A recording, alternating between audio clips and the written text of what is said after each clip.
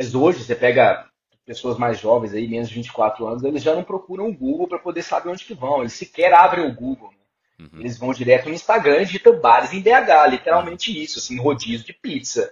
É, rodada dupla, é literalmente isso. Assim. E aí a Luísa falou uma coisa que é verdade. Não tem problema o bar ser instagramável e, uhum. e surfar numa onda, mas tem muita gente esquecendo do simples, comida boa.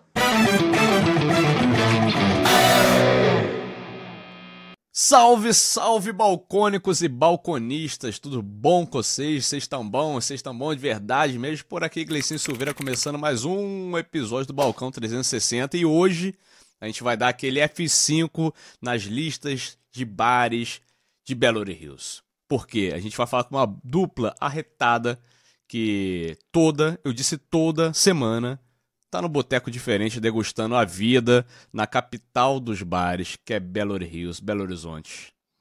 Então, aí você pensa, ué, mas eu também tô nos bares toda semana. Isso, pô, estamos todos. Esse episódio é para você que se identifica com a vida boêmia, botequeira, não só dessa cidade, mas de todas as cidades do país e do mundo, né?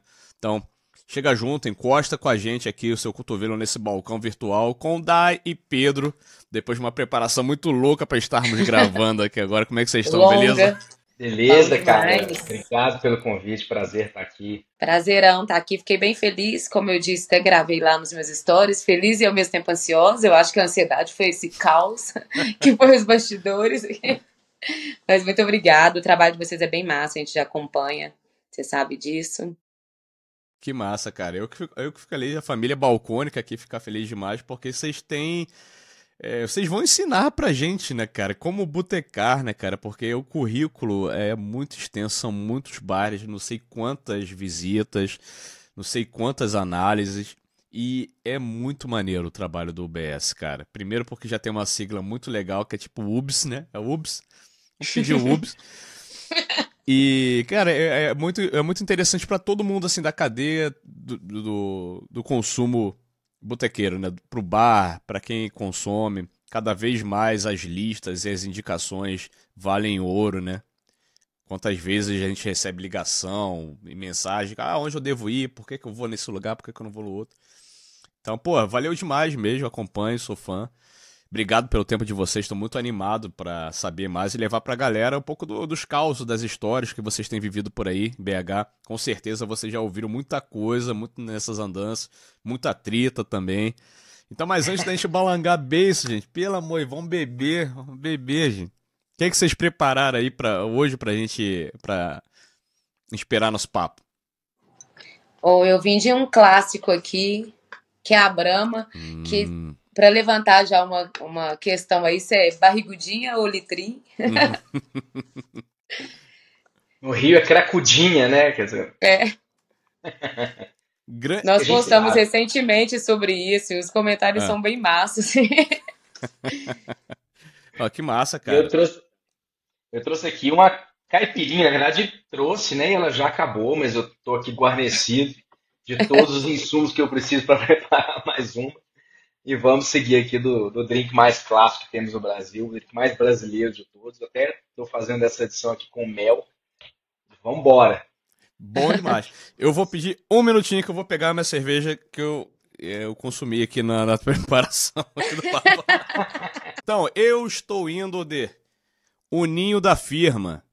Cerveja Putz, da Prússia Beer, cara. Olha a arte dessa parada, irmão. Lindo. Tô doido para tomar essa cerveja, cara. Nossa, Sério. aí, ó.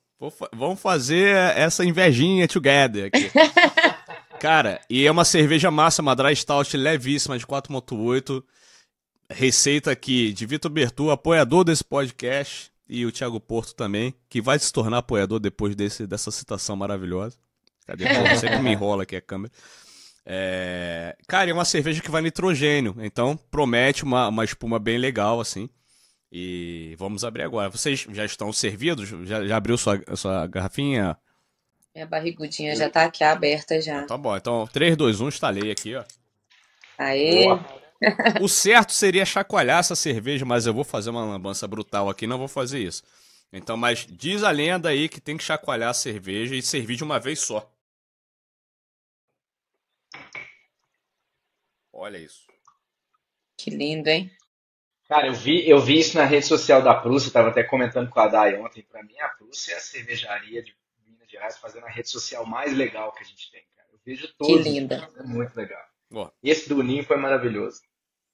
É porque Porra, é muito difícil, saúde, né, tá? fazer com que saúde. Saúde, saúde, santé. Saúde. A gente entende que é uma dificuldade para cervejarias prender o público nas redes sociais. Então, canais como o nosso, né, e de vários outros influenciadores que falam sobre cerveja, igual, né, vocês e temos vários outros aqui por BH, eles acabam sendo o caminho.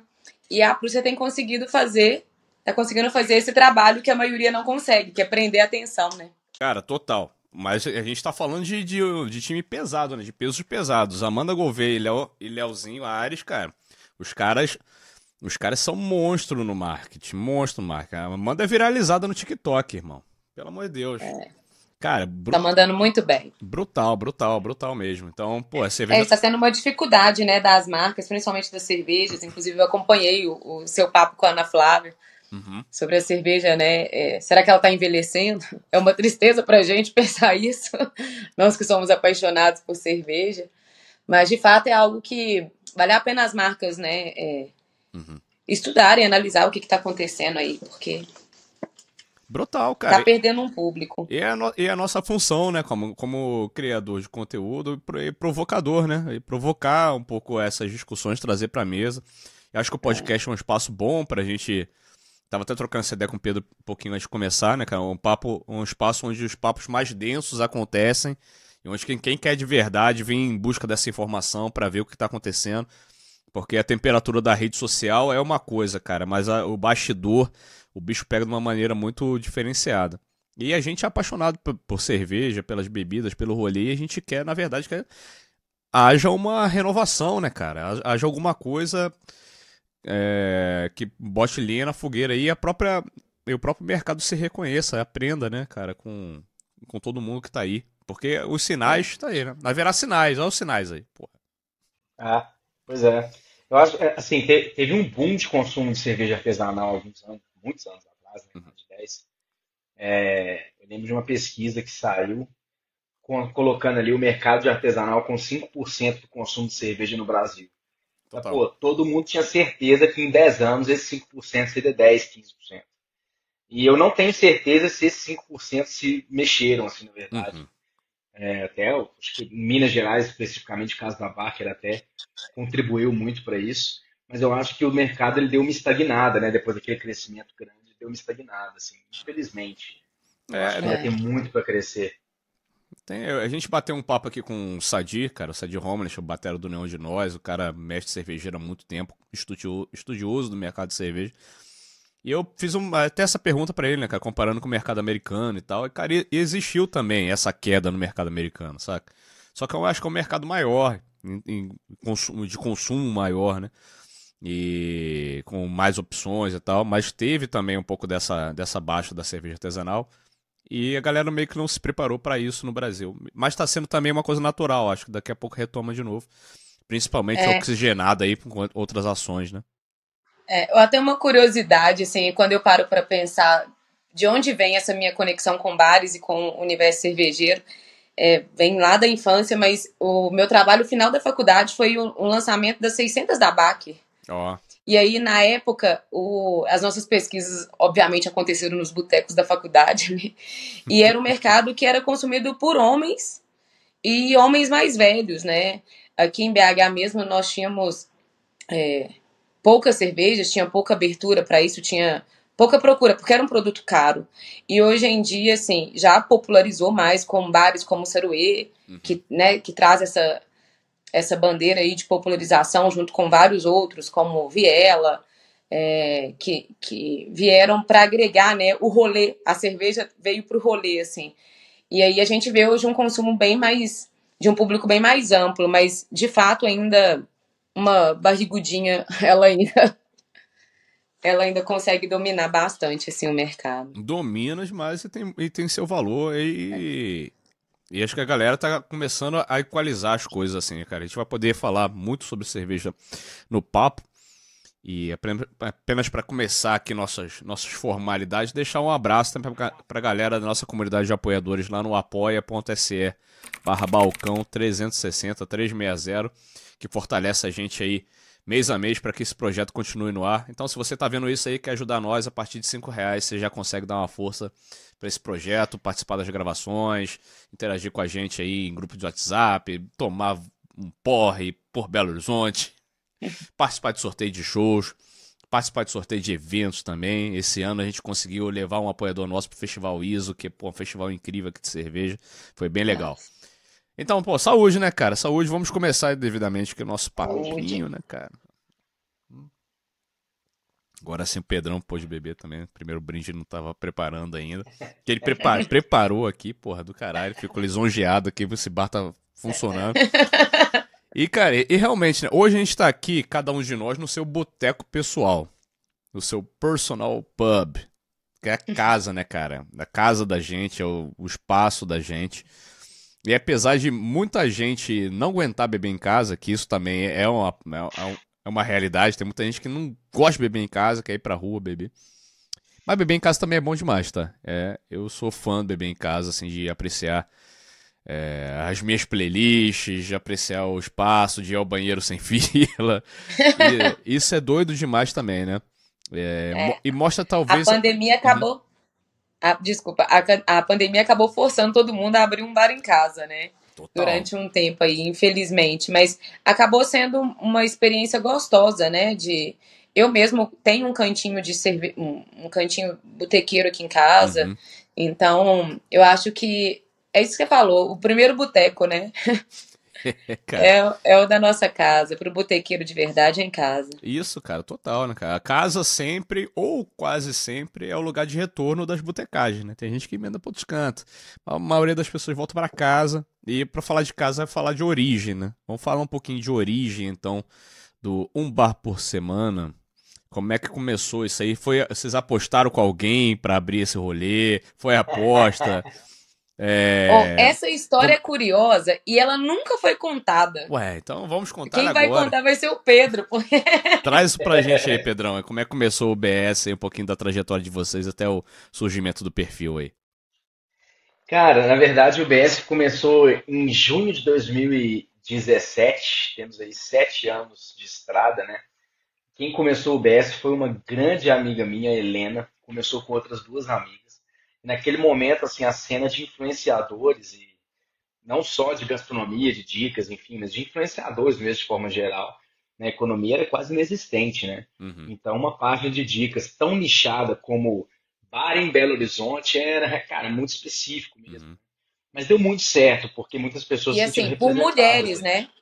É, Só cortando, exato. que era mais difícil ainda. Naquela época, uma página de influenciadoras mulheres divulgando um bar por semana. Então. É, porque, enfim, essa, toda essa coisa realmente da mulher na, na noite, né, no bar, ainda é um grande tabu, infelizmente. Né? E elas seguiram ali com o projeto por alguns anos, até que. É, até, eu e a Helena, a gente até morava junto na época, e ela recebeu uma proposta para poder ir para São Paulo. E aí perguntou se eu queria dar sequência ao trabalho da página. Claro, animei uhum. demais, já tinha feito várias resenhas com ela, já ido alguns bares com ela, gostava muito. E depois de um tempo que eu estava com a página, veio a pandemia que a gente interrompeu ali. Né? Algumas uhum. páginas de. Aí já tinha mudado bastante cenário de influências, já, já tinha muita gente fazendo algumas coisas muito legais já. Uhum. Mas como a nossa era muito nichada, assim, a gente é, não teve muito espaço na pandemia ali para tipo, divulgar delivery não, e tal. A gente preferiu até não fazer nada. E na primeira reabertura ali, que muitos bares já, já, já abriram, né? A gente vê que, na verdade, 90% dos bares estavam fazendo tudo errado, né? Assim, não estavam uhum. seguindo o mínimo que tinha que seguir ali em relação ao distanciamento e por aí vai. Então a gente preferiu, cara, não vamos mexer com a página agora, uhum. vamos esperar realmente dar uma passada mesmo, assim, para a gente poder voltar sem, sem medo ali de estar tá influenciando ninguém a fazer nada que a gente não faria. Uhum. E aí, quando a gente voltou efetivamente, foi em janeiro de 22, é, eu percebi que sozinho não ia fazer muito sentido estava, na verdade, bem por fora também nesse mercado aí de influência. E eu gostava muito lá das redes sociais do Saruê. Uhum. E aí a Dai, que era responsável pelas redes sociais do Saruê, então convidei ela para trocar uma ideia e a gente tentar tocar esse projeto juntos. Então que a gente está junto como dupla assim no UBS tem um ano e meio, mas a página já tem sete anos aí, totalmente orgânica, é, fazendo esse trabalho aí de no mínimo um bar por semana. Pô, fantástico, cara. E, e a, a, a, grande motivação era só, era não, não só, mas era a coisa de estar naturalmente no boteco, de querer produzir é, algum conteúdo a partir disso, porque você vem da área comercial, né? A DAI vem da publicidade, mas ela tá mais recente na, na página. Então, por, por que que a, a motivação foi o boteco, assim, para você criar, junto com a Helena lá, o, o BS? Cara, eu gosto muito de bagunça, assim, inglês. eu sou um cara bastante festeiro, gosto muito de estar com gente, estar movimentando, de estar na rua. Então, assim, esse ambiente de boteco sempre me chamou muita atenção, né? É, eu me encontrei, assim, na verdade. Até por conta do BS, eu acabei me envolvendo mais também com o segmento de bares e restaurantes. Uhum. Então, para mim fez muito sentido. É, talvez não teria começado a página, né? Foi muito vanguardista aquilo para mim no momento. Né? Cara, que loucura, página de dicas de base, né? Que doideira. É, mas hoje você pega pessoas mais jovens aí, menos de 24 anos, eles já não procuram o Google para poder saber onde que vão. Eles sequer abrem o Google. Né? Uhum. Eles vão direto no Instagram e digitam bares em BH, literalmente isso, assim, rodízio de pizza, é, rodada dupla, é literalmente isso, assim, não, não tem mais uma busca no Google, né? E quem já estava bem posicionado em relação a isso já antes desse movimento, assim, acabou, enfim, dando muito certo aí nesse período pós-pandemia, né? Porque hoje realmente é o lugar que as pessoas procuram informação, seja para bares, restaurantes, assim, para que, pra que tem de novidade para fazer um date, para comemorar aniversário, é o Instagram. Uhum. O Instagram, o TikTok, hein? Não, e assim, o Google começou também, né? O Google antes ele não indicava as outras redes. E ele entendeu é. essa potência e começou a indicar vídeos e bares. Então, igual a nossa página, um bar por semana. Obviamente, eu caio mais ali, porque né, eu tô totalmente envolvida no segmento, só aparece notícia de bares para mim no Google, mas aparece indicações de vídeos nosso, de várias outras outros uhum. influenciadores. Então, o Google entendeu a potência que é os influenciadores de dicas, né, de onde ir, de onde comer, de bares, de então, de fato, se tornou uma potência e se o Google entendeu isso é porque o público já Total. É. já mergulha nisso, né? Total, cara. E hoje vocês é, tra tratam o, o BS como um business também, né? Então, como é que tá funcionando para vocês é, esse, esse é. crescimento? Como, como foi a tua chegada? Como foi o, teu convite daí para somar com o Pedro ali? Que, que você sentiu? Você já, já operava as redes do Saruê, mas também de, de outras marcas, né? De, de outros Sim. plataformas. Então, eu no, na área né, do marketing ali tem muito tempo, só que aí eu cheguei a empreender num segmento de co-work, aí tem uma amiga minha, Nicole, ela sempre falou comigo assim, você precisa abrir uma página de dicas, isso lá atrás, quando sempre falava isso. Uhum. E eu, como meu primeiro estágio foi na Buffalo Beer, gente, só dinossauros vai lembrar disso. Eu fazia divulgação de Or, no Orkut. Caraca. Tipo, a gente divulgava listas, comunidade mesmo. E ali, a partir desse momento, as pessoas já me viam como uma referência. Sempre me perguntavam onde, onde ir, onde levar turista. Tô com uns amigos, quero fazer isso, onde comemorar aniversário. Então eu já fui, eu sempre fui essa essa rede assim da minha bolha, né? Uhum. Essa, essa, essa ponta da minha bolha. E aí quando aí beleza, várias coisas aconteceram, pandemia, é, desfiz esse negócio, saí e só que o bar sempre me atraiu assim, igual eu falei, minha, minha meu TCC foi sobre cerveja, uhum. sempre tive muito conectada no meio. Aí eu tava atendendo o Ceruê e, e foi um sorteio. Eu falei assim: aqui, você trabalha com como assim um você sorteio? Você tem uma página, você, me, você anima a fazer um sorteio pro Saruê? Ah, Aí ele foi, me passou o acesso. Falei, gente, que menino doido, né? Ele me passou o acesso pra eu, pra eu fazer o sorteio. E aí, fiz o sorteio e tal de, de, de, alguns ingressos pro carnaval, tava voltando a pandemia. Só que antes disso, o Pedro, ele tinha feito uma ação comigo, que nós dois estávamos de máscara, eu tenho esse vídeo. Que foi no dia da cerveja e nós fizemos uma ação onde a gente premiava a galera do Saruê e tal. E aí, quando ele me, me chamou, eu falei assim: olha, beleza, mas deixa eu entender o que, que é o BS, assim, para você, porque se eu entrar, eu vou entrar de cabeça. Tá. Então, me dá um tempo para eu poder entender. E, e é isso. Aí eu comecei a estudar e a gente, né, junto com o Pedro, nós é, planejamos algumas alguns caminhos mesmo para o UBS, porque ele tem um custo. A gente antes o UBS saía e pagava sua própria conta o tempo inteiro, então uhum. é uma despesa alta. E aí eu falei, não, vamos criar uma estratégia é, de crescimento, né? Quem que nós somos, por que, que a gente está aqui, vamos criar uma identidade. Uhum. E aí é muito engraçado as redes sociais, porque por mais que você tente é, criar alguma coisa, os algoritmos e as tendências, as atualizações vão te guiando. E eu e o Pedro tínhamos algo em comum que são os textões. Nós gostamos muito de escrever, assim. Uhum. E na época a plataforma entregava bastante os textos e isso era o máximo pra gente. Inclusive, o nosso primeiro rios que a gente, né, nós gravamos, porque nós somos bem resistentes, não vamos sair disso. Vamos continuar no textão, não vamos ser mais um do mesmo aí no mercado. Só que aí tivemos que cair e aí nós gravamos o Barnabé, que inclusive nós soltamos recentemente, hoje, né, Pedro, que foi que que foi divulgado. E aí o Barnabé foi nosso primeiro vídeo. E a gente, assim, totalmente cru, sem entender o que que era, porque nós éramos dos textos e tal. Só que as coisas foram acontecendo. Só que uma preocupação minha do Pedro sempre foi não perder a nossa essência, assim, não perder o nosso olhar, uhum. porque nós não chegamos em um bar e, igual a maioria dos influenciadores fazem, tá tudo bem, é uma estratégia, é um posicionamento, uhum. onde grava aquele tanto de comida no, na mesa. Nossa estratégia era, era não ter estratégia, era viver o bar, era ser mais um ah. consumidor. Uhum. Então a gente abre uma cerveja, a gente conversa com, com o dono, às vezes a gente sai abraçado com o, a mesa do lado, a gente fecha a porta, a gente vai para casa do dono, entendeu? Não tem. A gente vive, vive o bar parado. da semana, de fato.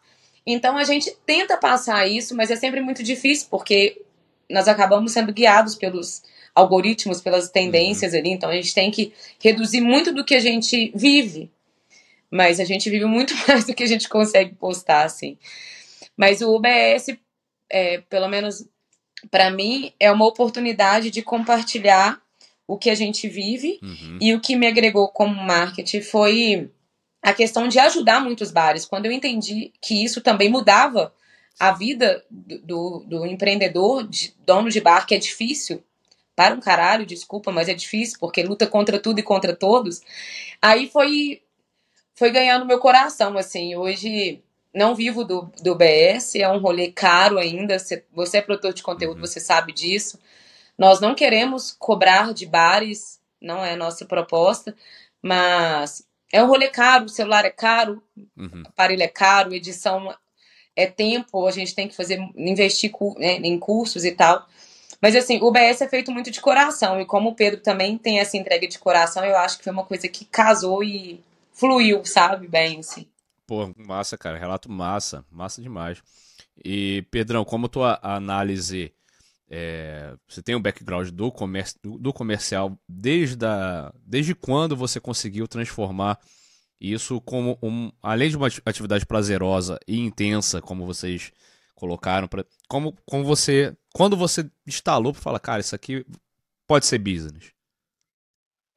Cara, é, eu lembro, assim, na área comercial ali, eu nunca lidei com o segmento, né? Porque, pô, uhum. poderia trabalhar com sistema de bares, por exemplo, né? igual certo. a Mafra, por exemplo. Então, beleza, estou na área comercial, mas estou no segmento. Eu estava completamente fora do segmento. Hum. Então, eu trabalhei com grandes corporações, trabalhei de Gimpass, então eu vendia benefício de atividade física para RH, mas de empresa muito grande, então não tinha nada a ver com o segmento. Uhum. Mas sempre gostei de frequentar bares, assim, mas não, tinha conectado muito isso ainda para mim. Uhum. É, eu lembro do dia que isso começou a fazer sentido, porque eu estava fazendo uma entrevista de emprego, e aí o dono da empresa perguntou. Cara, fez uma pergunta que eu não imaginei que ele ia fazer. Geralmente eu me preparo para possíveis perguntas. Né? Gosta de IPA? Pergunta. Pô, o cara do nada perguntou assim: se você pudesse abrir um negócio agora, qual que seria? Uhum. Acho que o cara tá esperando que eu fale um aplicativo que vai resolver não sei o que, que vai contar uhum. a quantidade de, de, de, vezes que você pensa em abrir o celular, uhum. não sei, uma coisa revolucionária. Pode e eu falei de bate pronto para ele assim: pô, abriria um bar. Ele, que isso? Você, é um bar? É, um bar. E depois eu desliguei a entrevista com ele, eu fiquei pensando naquilo, né? Pô, que loucura, será que é isso mesmo? E aí, eventualmente, eu convencionei que hum. quando eu fosse mais velho, o suficiente, às vezes, sei lá, estou aposentado, eu vou abrir um bar. Mas isso relativizou de tal maneira na minha cabeça que comecei a me perguntar por que esperar ficar velho, né? Por que não mexer com isso agora? Eu fazia as resenhas ali no Bapo Semana, imaginava que poderia talvez monetizar um Bapo Semana, mas não tinha muita clareza do como.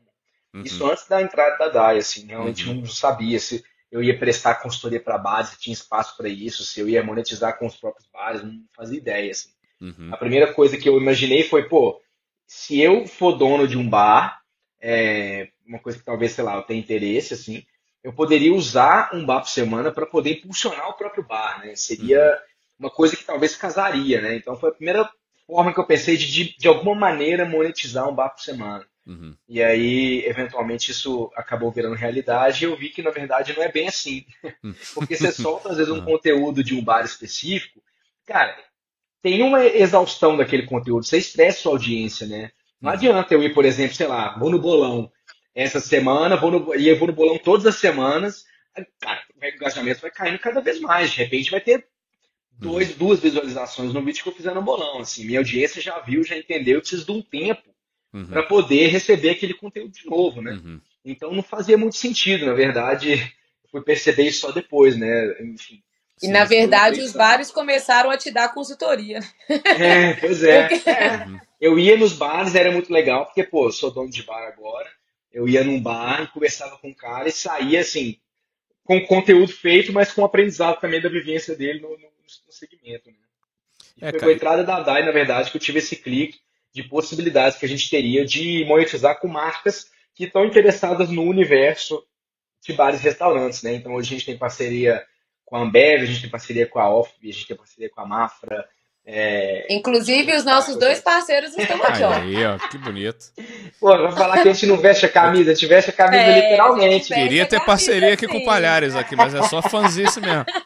Ô André, pô, presta atenção nisso aqui. Inclusive, eu comecei a olhar com outros olhos para essa, essas marcas, porque é muito difícil criar conteúdo, né? E assim, cobrar de bar é sacanagem, sabe? Mas o negócio precisa acontecer. É, e bares que apostam, e ainda bem que tem, tem, tem crescido muito, né? Que tem apostado em pequenos influenciadores, porque eu considero nós, nós somos pequenos, temos 52 mil atualmente. Grava essa data aí, porque se você for assistir no futuro, você é do futuro. Tá os 52 milhões, cara. Mas, isso, mas isso é muito relativo, estourada. vocês são gigantes, cara. Que isso.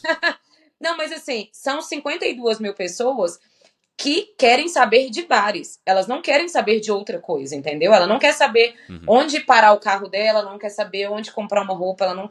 Ela quer saber em qual bar ela vai na semana. Uhum. Então, é, é, igual o Pedro sempre falou no início, é um é um, a nossa página é uma página muito nichada. Uhum. Igual a sua também é, né? Você trabalhava, estava trabalhando com cerveja artesanal, você sabe a dificuldade que é. E nós tivemos, para poder manter isso é difícil, porque várias marcas já entraram em contato com a gente, que, oferecendo é, lava-jato, assim, uhum. segmentos aleatórios, mas não faz sentido com a, com a nossa proposta. E é muito difícil a gente se manter firme ali, porque é um rolê caro. Então, eu uhum. admiro muito as marcas que apoiam projetos como o meu, seu e vários outros influenciadores, porque Total. não é fácil. Total, cara. Mas, pô, é, apesar, apesar de o nicho ser específico, a gente, por exemplo, a gente tá numa uma capital que é a capital dos bares, né, cara?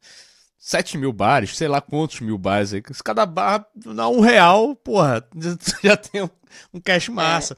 Mas assim. Oh, Pode falar, Esse pode tema falar. capital dos bares, eu acho que o Pedro ele consegue falar muito bem. É, porque nós dois trocamos muita ideia sobre isso nos bares, né? E, não, e a gente é, fica muito na dúvida sobre será que BH de fato é a capital oficial dos bares? Fica sabe? com a gente até o final que essa resposta vai estar. está aqui, ó, está aqui. Não queima minha pauta, Dai. Tá aqui, ó. Tá aqui. mas, cara, mas essa é, uma, é talvez a, a pergunta do, do podcast, vocês vão entender depois ao longo, né? Tá tudo. É... Enfim, mas, mas eu puxei esse papo da, do, do tantos bares, é, é, nicho, é nichado, mas tem, tem muita oferta. Para prim, primeiro entender, cara, mais ou menos quantos, em quantos bares vocês já foram, já estiveram fazendo cobertura, análise, já estiveram relacionados assim?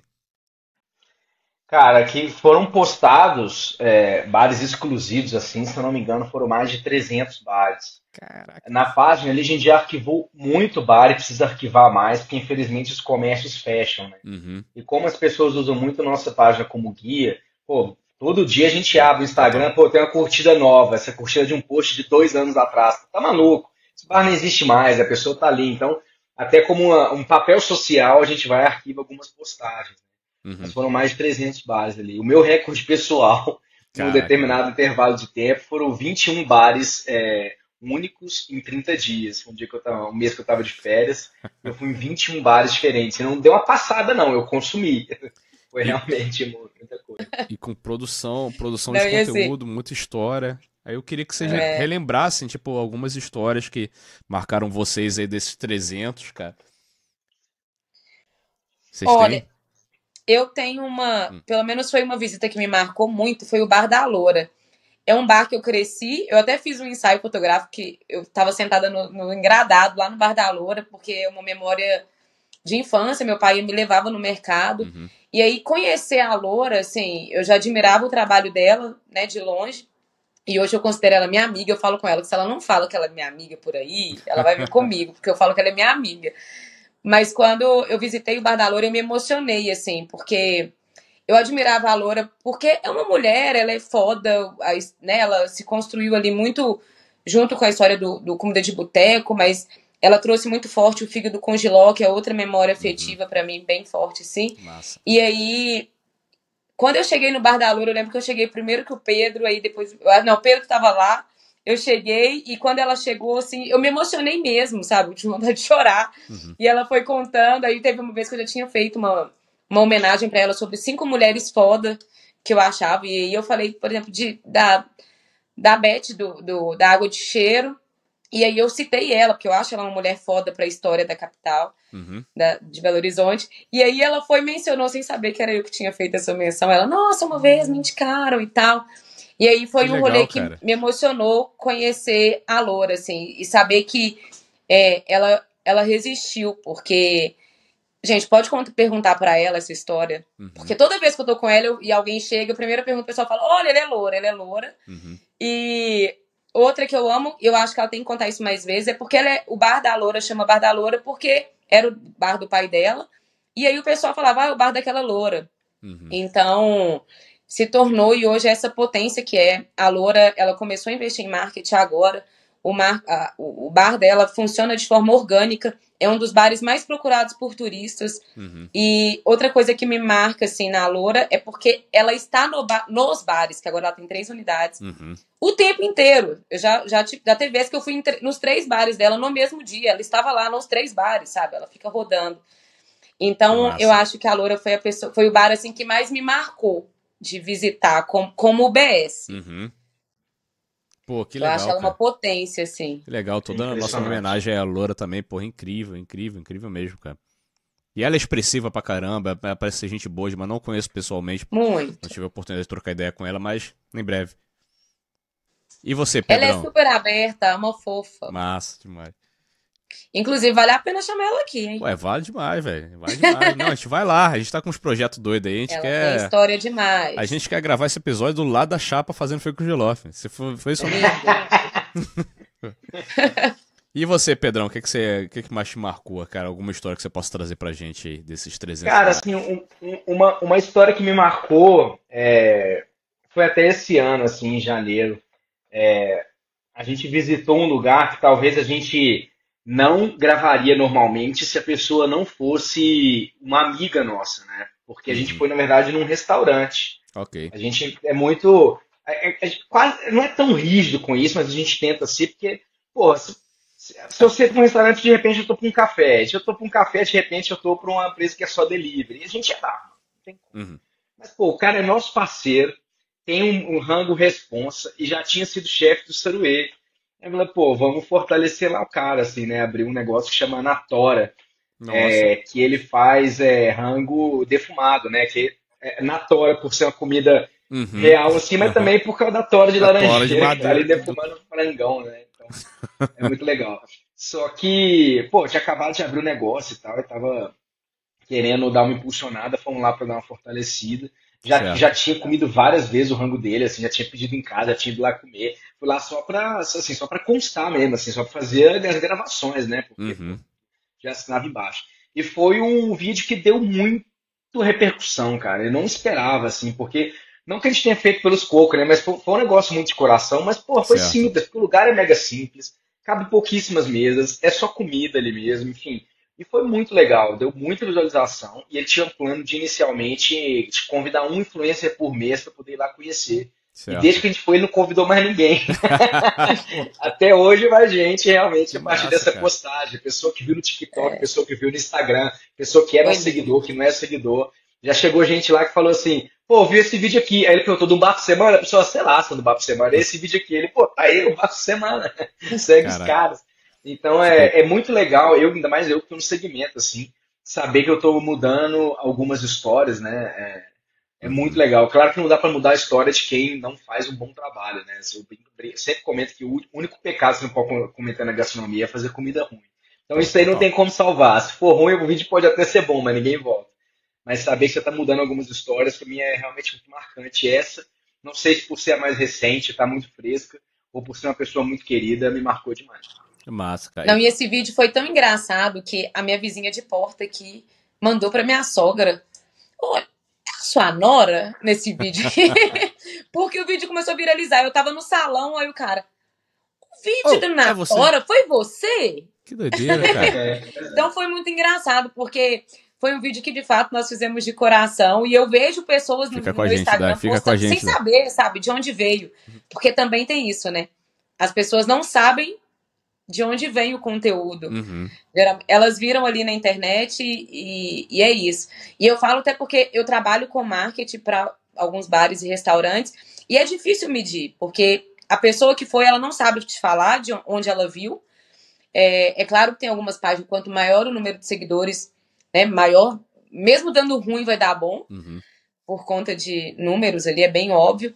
Mas é muito difícil medir. E com o Natora, em especial, como nós somos os únicos, não, não tem como não ter sido a gente. Bota então fé. eu acho que de fato é uma surpresa feliz. Assim. E, e, fica onde, pra gente completar a jornada do Natora? Onde fica o Natora? Rua Tombos, no Prado, quase esquina com Platina. Rua Tombos é uma ruazinha sem saída. É o lugar mais inóspito que você puder imaginar, assim. É muito pequenininho, deve ter umas quatro mesas. Mas Nossa. entrega também delivery próprio. Antes era no iFood, agora delivery próprio. Se procurar na, na Tora no Instagram, vai achar, pô, vale a pena. E qual é o nome do brother lá? É o Iris. Iris. Iris. O Iris, ele era cozinheiro do Saruê, então nós conhecemos ele no Saruê. Isso deve conhecer. Pô, que massa, cara. Então, salve aí pro Natório, tá aqui nosso, nossa bandeira do Natório aqui também. Sim. Porque. Ele é um fofo. Porque estamos aqui para isso também, o Balcão 360. Vai lá no Natora, porque inclusive o nome Natora tem uma. Eu tenho uma, uma memória afetiva com Natora porque eu sou querido de UFMG.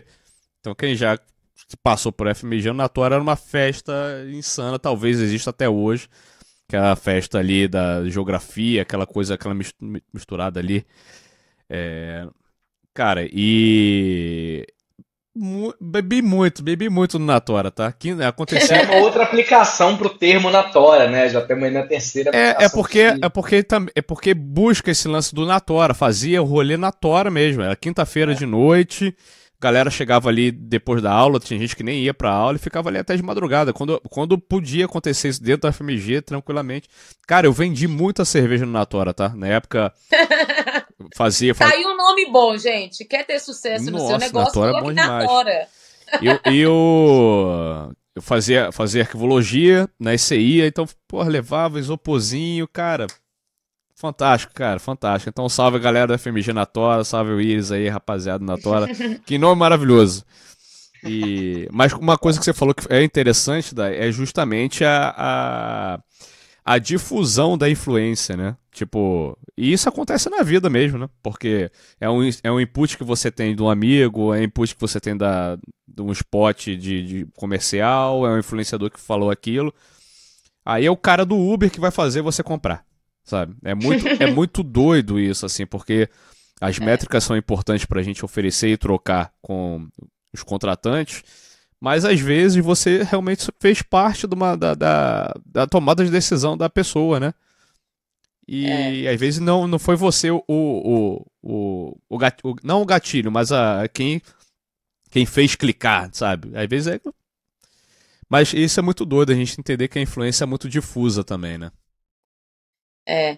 E assim, é, é, é legal porque eu estou dos dois lados, né? Eu contrato influenciadores e eu sou uma influenciadora. E é até curioso que tem vezes que chega algum influenciador que entra em, algum, em contato com alguma das, dos bares que eu atendo, aí você chega, ah, é a Dari de um bar por semana só e tal. A gente até marca collab ele mesmo. Uhum. Mas é muito bom pro meu trabalho, né, como BS, porque eu consigo medir, eu consigo ter uma compreensão melhor ali, é, até um feeling do que que vira mais ou não, e aí também tem coisa que não dá para prever, porque você pode postar a mesma coisa uhum. e pode não entregar. Uhum. Então, assim, é muito.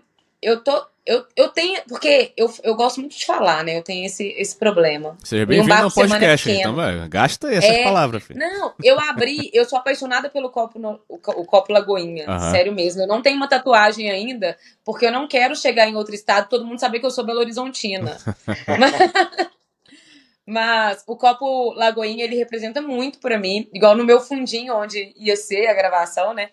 Aquele fundo, ele acontece, eu só mudei a disposição da mesa, uhum. que são de elementos importantes para mim, igual tinha o boné do boné, o boné do Bar da Loura, uhum. aqueles quadros do copo Lagoinha que estavam no fundo, assim, uhum. depois eu mostro. A gente vai é... colocar uma foto aqui, depois você tira uma foto Sim, e manda pra cá que eu boto na edição aqui. a foto do meu fundinho copo Lagoinha. Então, eu gosto muito do Copo Lagoinha, e aí eu falei assim, eu preciso de um espaço para poder falar mais ainda, e para poder trazer essa, esses dois lados que eu acabo tendo a, o prazer ali de ter como influenciadora, que é o, o lado da contratante de um influenciador, né? Então, eu tento compartilhar nesse projeto que chama No Lagoinha, mas é uma coisa que eu gravo no meu celular mesmo, é só uma forma de compartilhar, porque eu sei que como influenciador é muito difícil é, medir se deu certo. Poucas vezes, igual o Iris, é porque ele é uma pessoa próxima, uhum. então ele mandava pra gente em tempo real e atualizando. Mas muitas vezes a gente nem sabe uhum. o impacto que teve né, naquele negócio. Então, eu tento compartilhar porque eu sei que é difícil para os dois lados. Do, do lado do bar que contrata, porque é, é, é difícil saber qual influenciador contratar para o seu negócio. E é difícil para o influenciador saber se o conteúdo dele deu bom. Uhum sabe, pro, pro, pro bar, assim, também. Ah, total, cara. Você falou um, um, um lance, você gosta de falar tal, e também de escrever, como você já citou, né? O lance dos textões. Isso. Primeiro que é legal demais. É legal demais para quem é old school na, na, na e velho, que vem de blog, vem dessa cultura de portal, de site. E via no, com a evolução do Instagram ali, os textos. Isso me atraía muito mesmo, me atrai muito. Tanto eu já trouxe aqui o, o Torrejo Sensual, com um cara que faz, pô, textos maravilhosos, com, com, Somos fãs do... com crônica, porra, divertido pra cacete. Mas assim, a pessoa tem que querer ler, né? Tem que estar tá envolvida ali. É um, é um trabalho é, mais extenuante até. Né? Eu escrevo pauta aqui, eu sei o que o, é, é treta escrever. E a gente quer deixar um texto bonito, né, coeso. E, mas ao mesmo tempo, vocês acabaram de ir para o portal BHZ, né? Que é um portal tá aí há 12 anos no, no, no mercado do site de comunicação de notícias. E como está sendo para vocês? Como é que foi essa, essa, essa mudança, essa etapa agora de ir para um lugar que recebe textos, né? Que o foco é são textos, apesar de ter vídeos ali também, fotografias, mas acho que o grosso é, é, o, é o texto, né? Como está sendo para vocês lidar com esse novo formato lá no como colunista do BHZ? É assim, Cara. ser colunista, né? É, perdão, Pedro. Era um sonho nosso, assim, de, de escrever. E aí, quando nós. Eu, eu vi assim o BHZ, eu falei com o Pedro, posso mandar mensagem? Porque foi, surgiu da gente mesmo. Ó, que doido. É, porque foi. Então nós escolhemos o BHZ porque hoje em dia influenciadores estão indo para outras mídias, né? Porque as mídias entenderam a potência que é o, a, o marketing de influência. Então, onde você vai ter na Itatiaia, casal que nós somos fãs uhum. demais, eles sabem disso. O Ruas de BH, os meninos também somos amigos, amamos, eles estão no 98, né, Nel 98 e Globo agora, feliz uhum. demais por isso, de entender que as mídias estão entendendo que influenciadores é, é, é importante para a comunicação, né? No, o, o, aquela palavra, a blogueiragem que os amigos zoam, ah, aquela blog... Uhum. tá, tá sendo muito blogueirinha e tal. é, que bom que estamos quebrando isso, porque é uma profissão, é um trabalho, ele tem coerência, ele tem impacto assim na sociedade, de fato influencia, tem que saber quem que você segue para ser influenciado ali, ter esse filtro. Mas aí quando nós entendemos que estava acontecendo esse movimento e nós dois gostamos de texto, eu falei, Pedro, posso? BHZ é uma página que eu me identifico, porque eu seguia lá do Facebook, que eu lembro muito bem assim de quando eu admirava o trabalho do BHZ e falava, cara, como que esses caras cresceram? Eles foram o, o primeiro, na, os primeiros nativos, o primeiro nativo no digital. Então, assim, foi, foi uma escolha nossa, sabe? Então, foi uma fase bem feliz. Os meninos, é o Pedro também, que conversou com a gente, do BHZ, ele, ele abraçou o projeto, falou que já conhecia o, um bar por semana e e aí ele foi muito, foi surpreendente a forma como ele acolheu a nossa ideia, como eles abraçaram e abraçam assim o BS junto do, do BHZ, sabe? Pô, muito massa. É. E a sua, a sua assim, visão? Tá sendo uma experiência muito legal porque é, a gente é engraçado que eu penso que, cara, criador de conteúdo, na verdade, não é uma coisa nova. Já existia um criador de conteúdo já há muito tempo, principalmente na figura do jornalista. Cara, jornalista é um criador de conteúdo, assim. Na verdade, o que a gente faz muitas vezes quando a gente visita um lugar é criar, é, é fazer um trabalho jornalístico, né? Na verdade, que pois a gente está investigando, a gente está informando e a gente está propagando essa mensagem. Né? Nada diferente do que eles faziam. Então, acho que essa conexão de influenciadores com portais, com mídias entre aspas tradicionais, ela realmente é um casamento que ele é quase que óbvio, né? Ele faz muito sentido. Uhum. É, mas a gente é engraçado porque essa coisa do texto, a gente era muito a gente era muito é, temeroso em mudar o formato para vídeo, porque, cara, a gente fazia algumas pesquisas, às vezes, em stories, perguntando como é que as pessoas gostavam de ver nosso conteúdo, uhum. e texto ganhava de lavada, Nossa, de vídeo, de, de que seja o que for. Então a gente imaginava, pô, tem que seguir aqui. Só que não adianta tanto assim a nossa audiência só querer se o Instagram não quer, né? Porque Sim, se o Instagram projeta um algoritmo para não entregar o texto, a mesma pessoa que gosta de texto, ela não vai receber. Então, é, é você Caraca, precisa, total, em algum nível, jogar o jogo. Não tem como, né? Então, a gente vê, inclusive, alguns movimentos, por exemplo, a Dai falou do Oncevai, o Oncevai está há anos divulgando rolês gratuitos de Belo Horizonte, se não me engano, na sexta-feira. E eles tomaram a decisão de parar de divulgar esses rolês, é, inclusive comunicaram isso, porque, uhum. assim, pô, a entrega é muito ruim. E pela entrega ser ruim, os próximos conteúdos que a gente posta são ruins. Que é como se o Instagram estivesse entendendo que eles não são relevantes mais. Olha que loucura. Cara, que tá doido, então, cara. assim, a gente até tá disposto a falar sobre esse tema, só que se a gente divulgar da maneira que a gente está divulgando, vocês, na verdade, não vão ser atingidos uhum. e as próximas pessoas que são atingidas pelos conteúdos também não vão. Então, com, muito com base nisso, a gente procurou o BHZ para, tipo, cara, vamos fazer cada qual, não cada qual um lugar que realmente comporta textos até maiores, né? Assim, uhum, com sim. inclusive mais ferramentas, consigo colocar link de saída, consigo colocar uma foto que está dentro do contexto do último parágrafo, seja lá o que for, uhum. assim.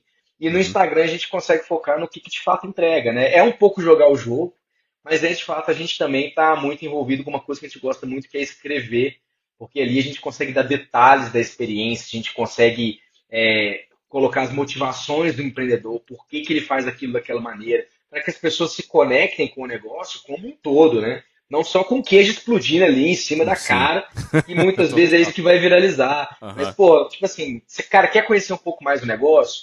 Vai digitar ali no Google, por exemplo, barra do fulano. Você vai ler uma crônica realmente, assim, detalhada, bem fundamentada, de uma experiência que foi real, sabe? Pô, cara, é. maravilhoso, cara, maravilhoso. Agora, é, é, até estranho a gente falar o site como é, mídia tradicional. Já é, né? Tradicional no tempo de YouTube, TikTok. a gente.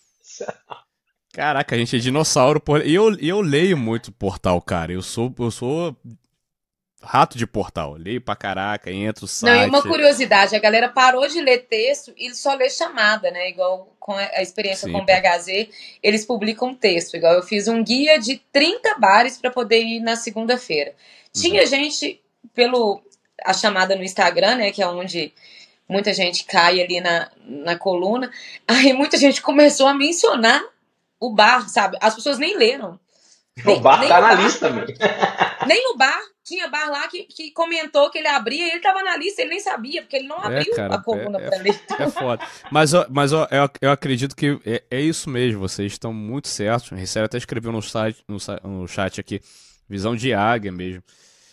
É, parabenizando vocês. Mas é isso mesmo, eu acho que vai ter. E as redes sociais, a gente estava falando sobre isso, a questão do low profile, é, o consumo diminuindo, o consumo alcoólico diminuindo um pouquinho. Tá acontecendo um movimento, a gente não é socio- sociólogo, a gente não, não consigo ler isso, né? É, mas a gente tem um. Bêbado a gente é, na É. mesa do bar, a gente É. vira tudo. Então, daqui a pouquinho, em breve, fica com a gente até o final. É, Mas o que acontece? A gente está sentindo um, um movimento. E esse movimento, eu já falei em outros episódios aqui, cara.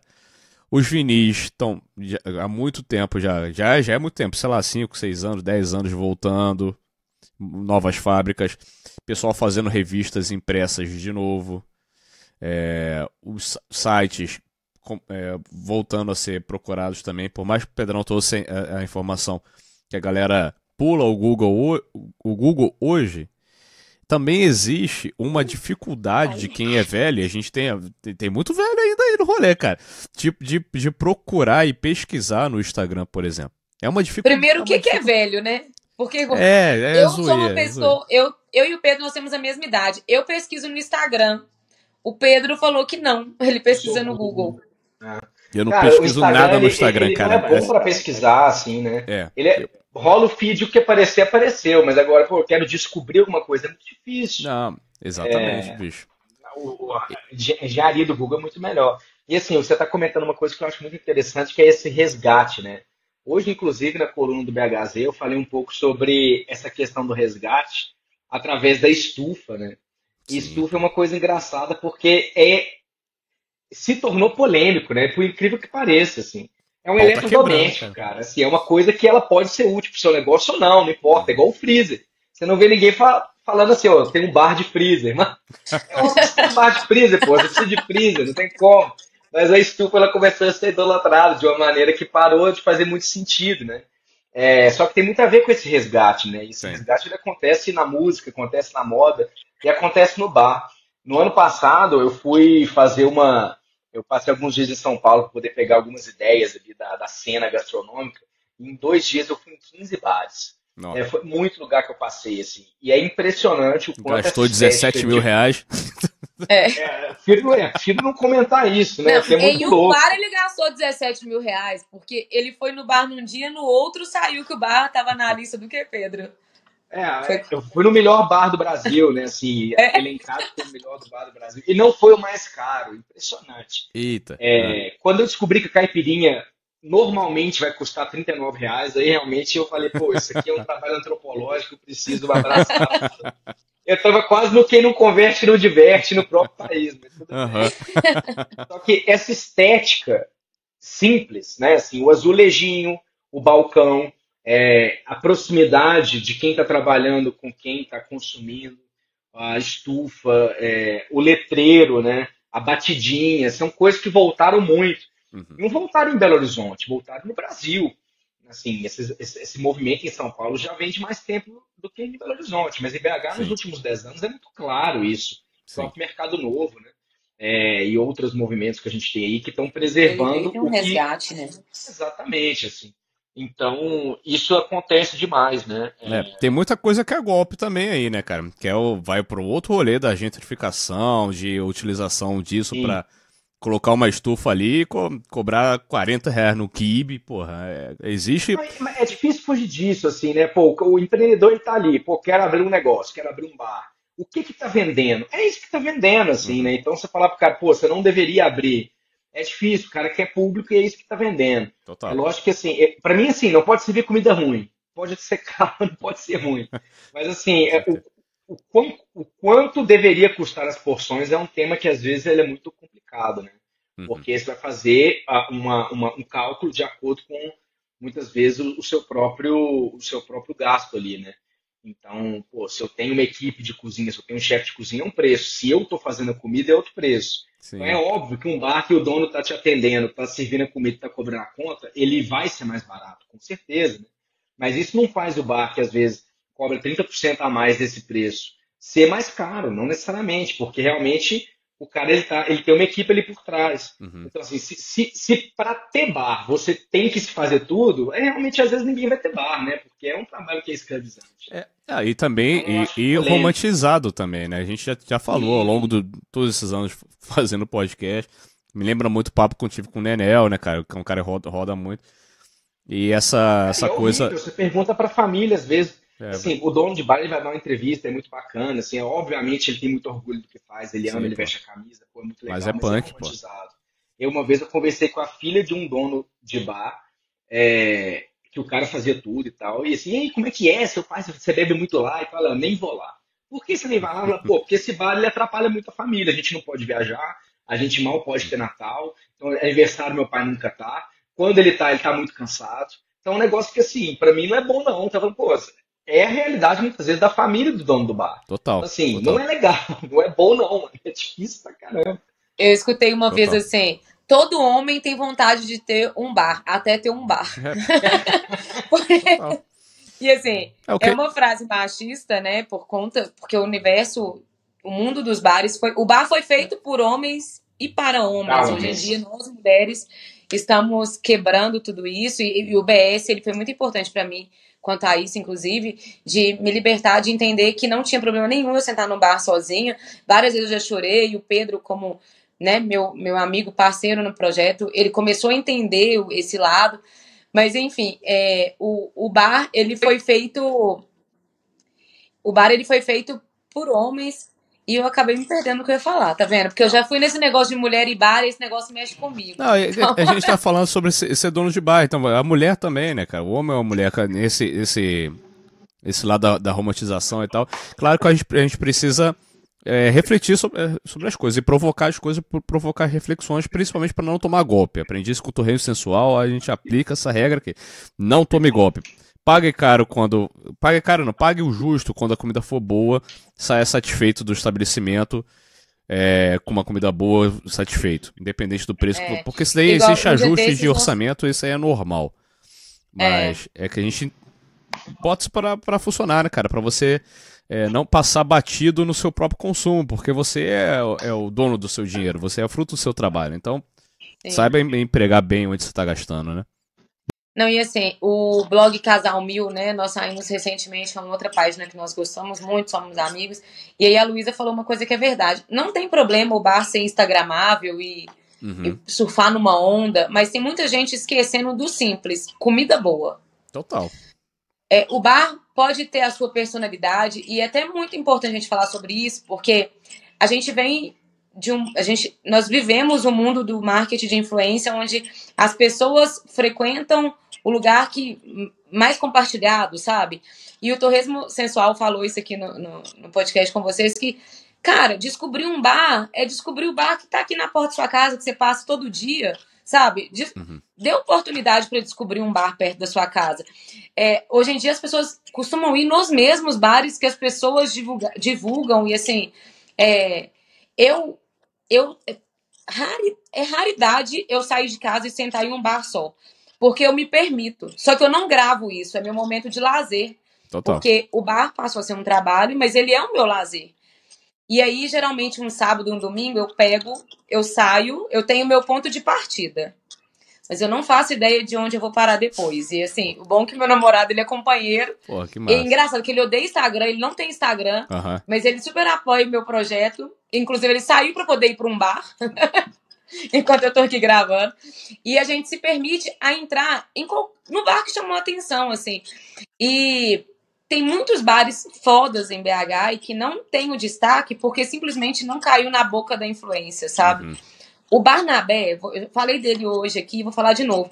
É um bar que eu apaixonei, foi o nosso primeiro rios, assim, de conteúdo que nós é, investimos em, né, uhum. nos propomos a fazer, assim. Eu mas foi uma surpresa muito feliz o bar. É, o bar, ele é num quintal de casa, feito por amigos, tem a cara deles, tem uma identidade deles, mas não é um bar de estufa, não é um bar de cerveja artesanal, é um bar com a identidade, com uma identidade própria, mas eu tenho visto que as pessoas têm dificuldade de olhar pro, pro todo, sabe? Tipo assim, eu, eu amo a, a almôndega do Nivaldo. Eu acordo, geralmente nos domingos de ressaca, com uma vontade de ir lá comer a almôndega dele. E eu vou, porque eu sou apaixonada, eu amo. Mas é impressionante como ela entrou no hype e ninguém quer mais ir para outro bar, sabe? No Santa Teresa. Sendo que abriu Terezinha, o Pedro foi lá recentemente, é um bar muito foda. Uhum. O Mauê Empório é um bar que tá dentro, lá no Cidade Nova, que é um bar feito por meninos novos. E tem essa outra questão também. Bar que nasceram recentemente, sabe? Parece que é só o bar raiz que tem 50 anos que tem credibilidade. O bar novo, ele é hypado, aí não pode, sabe? Uhum. Por que, que não pode? Eu falo que bar bom é o bar que você se identifica. E, e eu brinco muito que o Pedro fala, começou a falar isso quando a gente saía. O bar tem que ter alma. E cada bar se identifica ou não. Então, é, é, abrir o leque de bares, sabe? É começar a desco descobrir os seus próprios bares, além dos bares que nós influenciamos e que a gente entende que a gente tem uma credibilidade quando a gente indica bares, porque uhum. de fato a gente frequenta muito uhum. bar, a gente vive bar. Mas é, é, eu acho legal as pessoas despertarem isso de. Tenta descobrir um bar, sentar numa portinha, escolher aquela coisa, sei lá, o que, que você quiser, ou então se você não quiser também vai embora tá tudo certo, não se identificou e vai embora e entra em outro, ou então vai no. É abrir a cabeça, sabe? Pô, total, cara. Total, total. Acho que. Tá, tá posto. Isso daí, se permitir. Você falou uma parada, uma parada que ficou na minha cabeça quando você tá falando, que é se, realmente se permitir. E lógico que a gente, inclusive, a, enaltecer o trabalho de vocês faz parte do, da, minha, da minha concepção de pauta aqui, porque os guias são importantes. Os guias são. E cada vez mais, porque tem essa troca. E cada vez mais a gente, tipo, agora tá conhecendo mais vocês, sabe quem são vocês. Sabe, as pessoas que estão vendo aqui, estão vendo os rostos, estão vendo. Pra ter essa troca, ter essa, esse, la, esse laço de confiança, né? Por mais que você, tipo, ó, cara, pra mim essa almôndega funcionou. De repente pra você não vai ficar não ser tão legal, porque e ela... tá tudo bem. Beleza, sacou? Eu acho que a influência trabalha muito na, nessa pauta. É, muitos influenciadores, né? Nessa pauta da verdadeira, assim. Isso que conecta, conecta. E a, apenas para a gente caminhar um pouquinho aqui para nossas saideiros. E, pô, vocês estão vestidos de off. Então eu queria que vocês falassem um pouquinho também desse outro braço, assim, cara, é, de um bar por semana que é um contato com marcas, embaixador de marca. o que que funciona? Se vocês puderem falar um pouquinho é, desse, desse, outro braço da, do Bapo Semana, assim, contato com essas marcas e tal. É um desafio, né, Pedro? é algo novo pra gente. Eu trabalho com marketing, então eu estudo muito os dois lados, gosto muito, mas é um desafio porque ninguém sabe de fato como funciona. Hoje, é a minha opinião, eu entendo que as marcas estão começando a entender que são os influenciadores que precisam guiar a uma determinada ação, mesmo quando a, o convite vem né, da OFF, da Ambev, enfim. Uhum. Porque nós sabemos o que o nosso público gosta. Eu até fiz um curso do Whindersson Nunes e que ele falava, ele fala que isso mudou a chavinha dele com a relação dele com as marcas. É, beleza, você veio com o script pronto, mas eu acredito que é isso que vai comunicar melhor com o meu público, porque é, muitas muitos projetos de que seria que, que é produto para poder vender para dono de bar, por exemplo, procuram muito a gente. Mas a gente não consegue entender, igual o Pedro fala muito, quem tem CNPJ e quem tem CPF ali. Então é difícil mensurar muita coisa nas redes sociais. O Instagram não entrega muitos números. Uhum. Mas eu fico mais com essa parte de marcas, assim, de atrás, como hoje nós trabalhamos, assim. O lado, Vivo Lado Off era um quadro que eu e o Pedro a gente já planejava, assim, a gente não sabia como executar, que é mostrar os bastidores do bar e das pessoas que estão envolvidas com os bares, uhum. assim. Então nós tivemos entrevista com a Aline do Acessibility Bar, que é um projeto muito foda. Massa. Que ela dá o selo, né, de acessibilidade para alguns bares. E assim, entendendo os dois lados, a gente sabe também a dificuldade que é para um bar ter dar acessibilidade.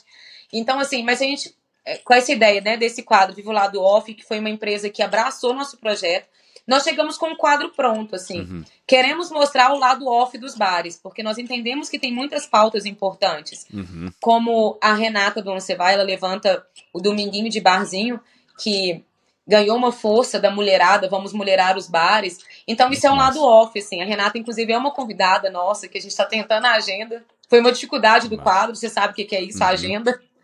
Total. Né, de, de, porque influenciador não vive de, de influenciar, igual todo mundo acha, a maioria. E, mas assim, foi um quadro que veio que a gente iria tentar conseguir mostrar nosso, um pouco da nossa essência, do que a gente vive nos bastidores. Só que aí vem uma outra questão. O público não abraça. O engajamento é baixo. Galera não curte, não compartilha. Sério, Mas é uma cara? coisa que fazia sentido pra gente. Então eu falo muito com o Pedro assim, nem tudo é sobre engajar, é sobre se posicionar, sabe? Que eu acho importante. Total. Porque nós somos uma marca hoje em dia, então é bom se posicionar. Quem nós somos? Mas assim, é uma coisa que eu acho Total.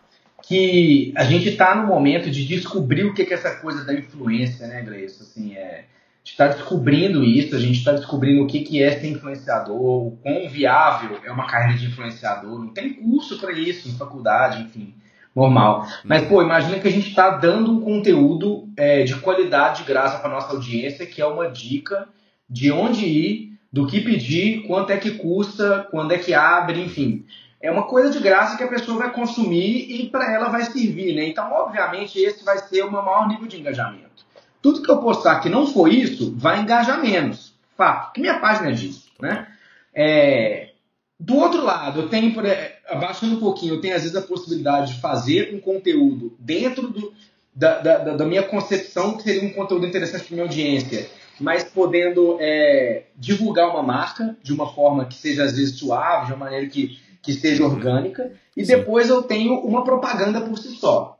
A propaganda é assim, é quando chega a coisa mastigada para você, ó, preciso que você faça isso, isso e isso, e vou te pagar tanto. Ou então, quanto é que você me cobra okay. poder fazer isso, isso e isso sempre isso vai engajar menos. Sempre, sempre. Uhum. As marcas precisam saber disso. Pô, se vocês querem, por exemplo, é, é, engajar mais, precisam dar um pouco mais de liberdade para o criador de conteúdo.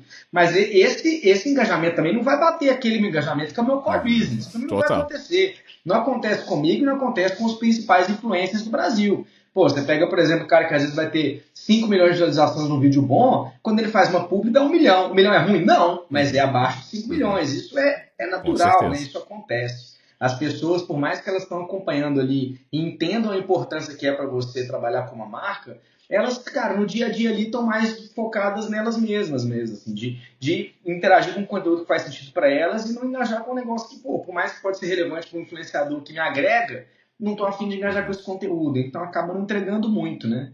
Não é que a entrega é péssima, assim, ela é, mas ela é baixa, natural, não, não tem como. É, é, justamente você perceber a dinâmica dos conteúdos. Uhum. É puramente, puramente isso. Mas, como você falou também, o trabalho de influência, ele está se consolidando. E acho que também as marcas estão entendendo isso, né? O que, é, é uma peça publicitária, o que é um vídeo para para venda, o que é um vídeo para branding. E, então a gente vai aos poucos também aprendendo todo mundo uhum. junto e também trocando com. É um mercado novo, né? Marcas. Novo para todo mundo, para quem é. recebe, para quem produz, para quem quer divulgar. Então. Pô, e, a, e a, assim, é. respeito muito a Off, porque foi a única empresa do nosso tempo todo de estrada ali que topou a nossa ideia da maneira que ela era, assim, não teve Sim. nenhum tipo assim, ah, mas tem que falar dessa forma, ah, mas tem que colocar isso aqui no briefing, não, cara, ó, legal, gostei do que vocês estão propondo, vamos fazer. E poucas marcas têm essa coragem, essa confiança, assim, é muito difícil. É. É, mas, Inclusive, favor, a, a Off, ontem nós fomos na inauguração né, da casa Off, que eles lançaram aqui em BH, no, no Carlos Prates. Uhum. E lá eu falei com os meninos, eu admiro, bato palma mesmo para empreendedores corajosos. E eles são corajosos, porque investir no influenciador é uma coragem, porque é uhum. é novo. E só que eles, eles fizeram isso com a gente, eles fazem de coração também. Então é uma marca que ela tem alma, sabe? Ela é de verdade. Ela acredita nas pessoas. E não é fácil mesmo, não, gente. Não é fácil pra gente, igual eu falei, não é fácil pra ninguém. Só que são testes o tempo inteiro, assim. Muita gente me pergunta é, como faz, né? Agora que nossa página, o portal BHZ é, trouxe uma, uma relevância ali, a gente, eu entendi um carinho muito grande do público também. E aí começaram. O que, que, que, que, que, que você fez? Uhum. O que a gente fez, na verdade, o que a gente tenta fazer é ser a gente. Eu e o Pedro, a gente sempre. Toda vez que a gente entende que a gente está se perdendo ali nos algoritmos, estamos fazendo o que todo mundo faz, uhum. é, a gente chega e fala: opa, igual, o eu descobri em BH, amo, todo mundo sabe do que eu tô falando, ele sabe que eu amo ele, inclusive eu queria que ele fosse no lado off, mas ele tá me enrolando. Mas, porque é um lado off que seria muito foda, uhum. porque é um cara muito foda, é o Moisés e o Arthur do Curte BH, e eles entenderam assim que essa é a proposta deles de divulgar, é um negócio deles, mas o meu negócio do Pedro não é esse. A nossa a nossa proposta, o nosso propósito é outro. Então, assim, a gente tenta sempre olhar e falar assim: não, vamos resgatar. Vamos para um bar fazer uma reunião? A gente faz nossas reuniões em bares, obviamente. É. E é tentar puxar isso, assim. Então eu acho que é não perder a essência, perder o propósito, sabe? É, cara, eu, eu vejo, eu vejo que o, o, o marketing e o business disso daí tem caminhado para isso, saca? Da autenticidade. Por mais, cara, isso daí parece até paradoxal, né? Mas, por exemplo, o cara que me vem muito na cabeça, sei lá, o Defante, a Menina Veneno, é, são algumas pessoas que estão aí que são muito autênticos, muito naturais. E, sei lá, cara, é capaz, sei lá, do, vamos supor, o vídeo do Defante, ó, o Pedro tá fazendo uma caipirinha. Ele falou, meu irmão, eu não bebo caipirinha, mas vou fazer isso daqui e vai ficar uma merda. Mas, cara, é o universo dele, é a linguagem dele. E ao mesmo tempo acontece uma publi, né? Sim. Tipo, aí bebe no final, porra, até que não ficou tão ruim. Sim. Sacou? É, é, um, é uma construção que tá muito ligado com a personalidade, com a autenticidade. E, e é por aí. Porque senão, cara, realmente, o engajamento naturalmente de uma, uma peça publicitária, a pessoa tá, cara, ele tá fazendo isso daqui, é business, é, é um job, isso aqui não é. Eu não tô vendo ele, eu tô vendo ele, mas eu não tô vendo ele. É exatamente Sacou? isso. Você finge que não tá vendo é. aquilo ali. É, não, isso aqui é outro rolê. Não é para mim. Isso aqui não é para mim. Porque... E é um negócio que assim, é, cara, o dono de bar, ele hoje não sabe trabalhar com influenciador. Fato, não sabe trabalhar. Ele não sabe ver qual influenciador comprou seguidor, qual influenciador de fato tem uma audiência engajada, qual audiência é a que tem um público que faz sentido para o negócio dele, realmente não sabe. Mas, é, quando a gente fala, por exemplo, assim, pô, bar, às vezes o bar me pergunta, vale a pena às vezes, divulgar, por exemplo, concurso BH? Falo, claro, vale, assim. Vai, você vai receber aquele investimento de volta, vai. Você, tá, você, você consegue, às vezes, dar conta de uma demanda o triplo, o quádruplo do que você geralmente consegue, é. beleza. Se você consegue, ok, senão você vai esquemar com o pessoal. Porque de repente vai ser fila de espera, vai ser petisco atrasando, petisco queimado, não vai fazer sentido. Se você dá conta, tá preparado, beleza. Só que esse pessoal vai vir num comportamento de massa e na semana que vem eles vão ver outro bar e eles vão nesse outro bar. Você vai receber, você vai. É, é sei lá. Do, da... Que é uma grande crítica do comida de boteco. Sim, né, é a mesma coisa. Dos do 100% de pessoas que foram no seu bar por conta dessa ação, talvez 1% não virar clientes. Então, assim, é, é isso mesmo. Então, às vezes, a oportunidade que páginas como o BS tem, que tem uma audiência que está muito interessada naquele nicho muito específico e que vai se interagir com vai interagir com o nosso conteúdo de uma maneira mais profunda, é, fazer, é, é receber clientes mesmo, assim, né? Então, pô, a gente vai levar muito menos pessoas que as maiores páginas, mas são pessoas que tendem a ter uma recorrência um pouco maior. Então, a gente precisa que os donos de bares saibam cada vez me melhor mesmo trabalhar com influenciadores, porque a gente vê os dois extremos. A gente vê o cara que está tateando nesse meio e convida alguém que tem uma proporção absurda e ele destrói o bar do cara, que de repente vai muito mais gente que ele dá conta e o bar fica mal falado. E você vê pessoas que vão no extremo oposto, que interagem com às vezes um influenciador que comprou seguidor, não tem engajamento nenhum, faz um investimento que se não fizer um investimento é. na página, faz pelo menos em equipe para receber uma demanda grande e não vai ninguém. Uhum. Então ele começa a achar que o mercado de influência não, faz, não vale a pena, não faz sentido. Então a gente está trabalhando assim, com dois extremos. Seguidor não é cliente. É, é pois é. É entender que seguidor não, ele, ele não é o seu cliente. E uma outra coisa que, como marketing, né? Porque eu recebo seguidores por conta da, do marketing de influência, eu entendi, até troquei essa ideia com o Pedro esses dias, uhum. que os seguidores que vêm de marketing de influência são seguidores frios. Eles não interagem com o bar, né? Tô falando agora do outro lado, Uhum. como uma pessoa que contrata um influenciador. Uhum. Ele vem de uma forma fria. É, o Pedrinho até brincou, é como se comprasse seguidor. Porque, primeiro, que o algoritmo não entrega. A pessoa começou a seguir e ele não te entrega. Para você começar a receber alguma coisa, você começou a seguir o bar que você viu através do BS. Para ele começar a te entregar, você como marketing, ali como marca, como bar, precisa fazer um trabalho. Porque você precisa despertar algum engajamento dessa pessoa no seu, na sua página para você prender. Porque aí você vai conseguindo, você vai conseguir converter a longo prazo ali essa pessoa que veio de, uma, de um marketing de influência para o seu negócio. E aí é um caminho. Né? Você- aí, beleza, você conseguiu converter ele como seu seguidor, porque ele até então ele era seguidor do BS ou da Sim, página sim, sim, total. que você investiu. Ele passou a ser seu seguidor. Aí depois ele tem que ser o seu seguidor engajado para começar a entregar, para depois ele Isso, é virar cliente. um, um cliente. Então é uma conquista e as pessoas, ela, os donos de bares não conseguem entender esse caminho que de fato ele é difícil. Uhum. Eu tenho talvez uma facilidade maior porque eu estou dos dois lados, então eu consigo medir né? isso nas duas pontas.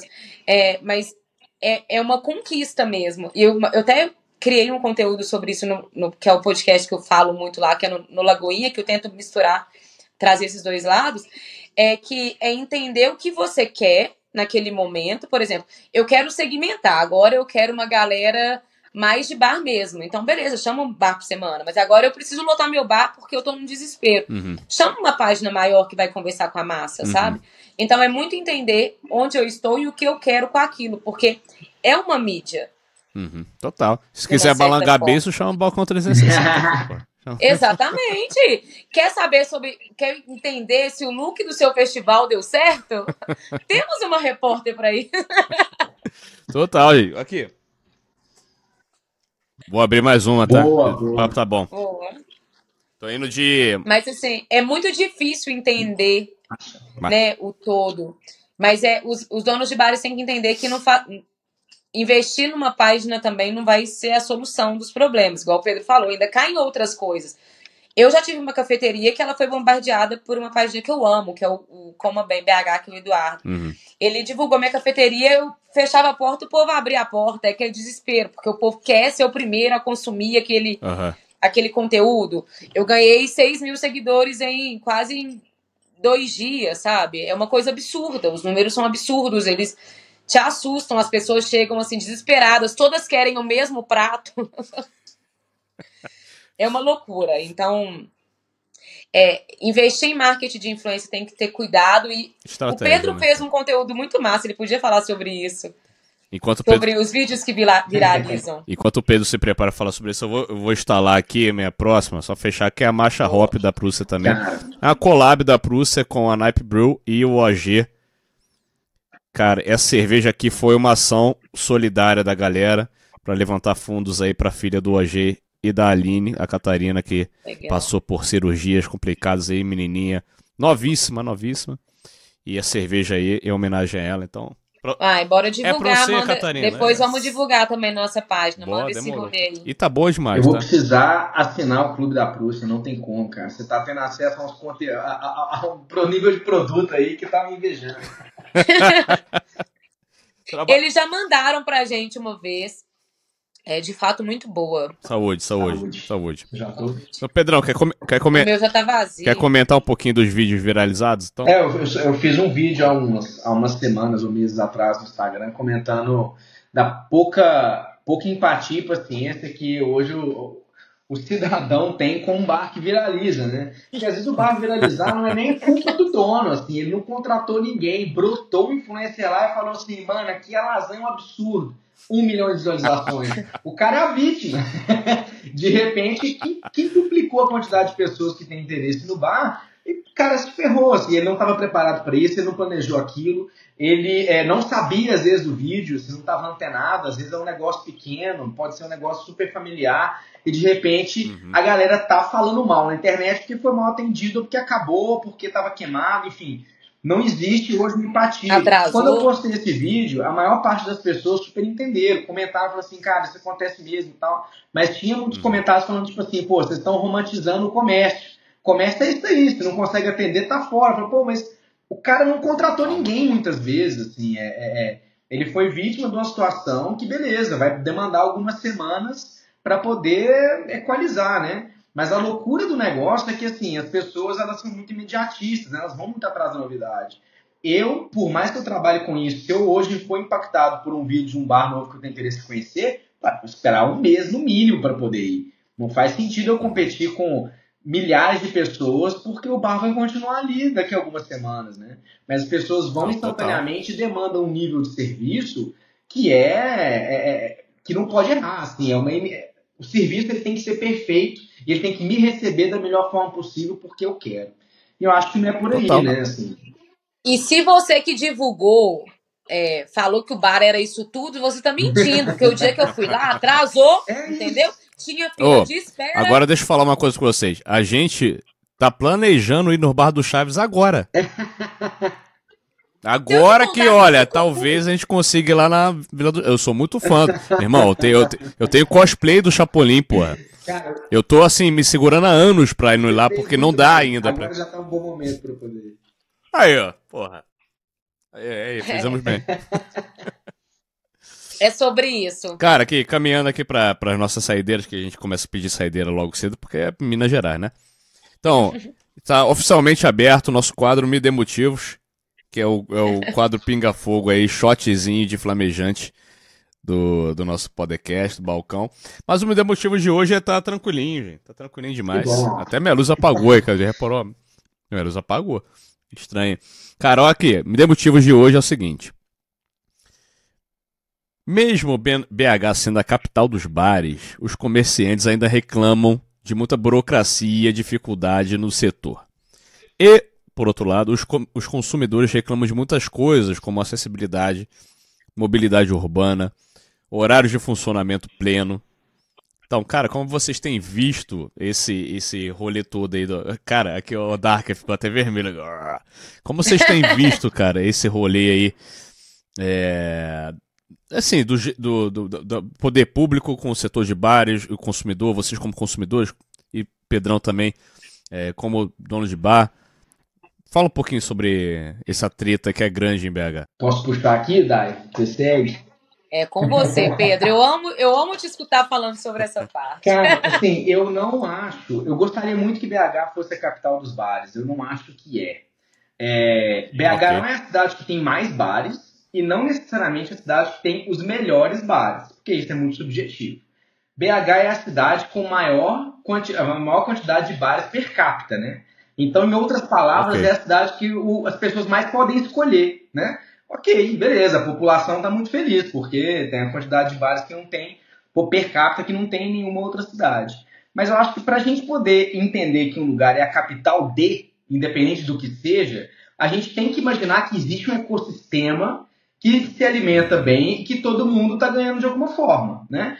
Hoje, é, eu acho que pode ser cíclico, mas hoje é, essa, essa, esse ecossistema ele faz muito mais sentido para o cliente do que faz, mais, do que faz sentido para os bares.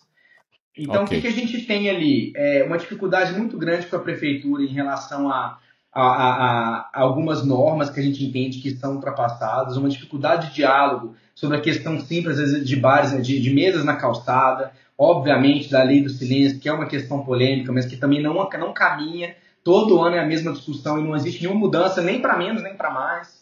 Você não tem, por exemplo, transporte público de madrugada, seja para o cliente ir embora ou para o funcionário do bar conseguir ir embora, o que atrapalha imensamente a obtenção de mão de obra do bar. Então, Belo Horizonte hoje é uma cidade que, com exceção, eu conto nos dedos de uma mão os bares que vão ficar abertos de madrugada é, todo mundo fecha meia-noite. Fecha meia-noite não só porque, pô, esvazia ou porque não posso fazer barulho. Fecha meia-noite porque as pessoas têm que ir embora. E só dá para ir embora até uma hora da manhã. Não tem como ir embora de outra, de outra forma. E aí o que, que, acontece? A gente tem um cenário hoje que, para o bar, às vezes a conta não está fechando. Porque é muito bar, muito bar para escolher a lei da oferta e demanda. Então, naturalmente, os bares estão vendendo menos que poderiam, porque está muito diluída a oferta em relação à quantidade de pessoas para poder ir. A pandemia acabou reduzindo também alguma, muito a noite de BH de segunda a quinta. O home office, o EAD, são coisas que deram uma matada no happy hour, né? Então a demanda caiu bastante, né? É, então você tem bares faturando muito menos. Universitário não bebe Sim, mais. Tem muita gente é, fechando, muita gente parindo, assim, então Sempre é, que eu, eu, converso com alguns, alguns donos de bar, especialmente o PH, que é o dono do Bitaca, também é consultor. Outro dia a gente foi tomar uma cerveja para falar disso, a gente foi caminhar pela Francisco Sá, que é onde o bar dele tá, e ele foi apontando os bares que, tipo assim, ó, aquele bar tem três mesas, é o dia mais cheio deles da semana. Ó, aquele bar, tá vendo que não tem nenhuma mesa? Normal. Tá vendo que o funcionário tá jogando joguinho? Porque nunca tem ninguém. Então, assim, é um cenário que eu acho que a gente vai dar uma assustada daqui a alguns meses, porque vai muito bar fechar. Isso é implacável, assim. Então, a gente vai reduzir a quantidade de bares per capita. E aí, o único motivo pelo qual talvez a gente é considerado capital dos bares, não vai nem, nem ele vai fazer mais sentido, né? Então, acho que para a gente poder ser capital dos bares, a gente devia, deveria ter um ecossistema onde todo mundo ganha e a prefeitura deveria ajudar. A prefeitura deveria querer ser capital dos bares, né? E ela não quer. Hoje o Rio de Janeiro Isso, tem um ecossistema de bares que é muito melhor do que BH, assim, tem uma noite muito mais efervescente, você tem bares com muito mais estrutura, com muito mais história do que Belo Horizonte. Claro que é uma cidade mais antiga do que Belo Horizonte também, mas você tem isso. Você tem São Paulo com negócios imensamente criativos, com coisas muito tecnológicas, com um serviço muito bom. E BH com a cidade que tem mais bares que per capita, mas será que isso é bom? Essa aqui é a questão. É, o Belo Horizontino é apaixonado por ah, bares, sim. né? Mas a, a, a capital, ela não é infelizmente, ela não entrega o que o Belo Horizontino Total, merece e gostaria de receber, assim. Pelo contrário, a gente vê cada vez mais cortes, né? É, diminuição do horário. É, Meia-noite você não encontra lugar para comer, porque a cozinha encerra às 11 horas na maioria dos bares. É, você não tem. Você, não, você larga um serviço mais tarde, igual agora. Nós estamos gravando aqui, já, já são o quê? 9 e meia? 10 horas? Se eu for sair daqui e encontrar horas. com meu namorado no bar, eu não consigo mais comer. É. Entendeu? E aí eu vou ter que. Ele vai, ter, ele vai trazer alguma coisa para mim. Então, assim, é triste saber que ah. o Belo Horizontino ele não tem bar para ele ir de verdade. Porque tem muitas coisas que podem, né? É muito difícil ser dono de bar em Belo Horizonte. Eu acho que é isso, assim. Uma dificuldade. Total, cara. Eu, alinhando as duas falas tá. de vocês, é, é muito isso. É, e, e entristece um pouco porque você vê o potencial, né? Você vê você tem um vislumbre de uma praia paradisíaca maravilhosa, só que as pessoas não querem te proporcionar o acesso sim, a ela. Sim. Sabe? Isso é, isso é foda, cara, porque é, mexe com tudo. Lógico que a gente não vai ter tempo para destrinchar tudo isso, é uma, só uma pitada, é uma provocação aqui no meio de motivos. Mas, cara, olha o potencial disso. Como é, uma estrutura, é ano de eleição, cara. né? É, cara, mas... É ano de eleição, como... é época das pessoas é, entenderem que o, os bares, eles, o bar, o bar ele movimenta a economia, é, são muitos empregos, é, é, é muita coisa. O Uber roda, roda mais se bares ficarem abertos até mais tarde. É assim, é, é, é muito amplo e as pessoas não conseguem entender isso. Então, eu acho que é uma chamada para agora, em outubro, eleição, bora entender a importância do bar, sabe? Na, na, nossa cidade, na nossa economia, assim. E na cultura, na né, cultura, cara? né? Total. Total, cara.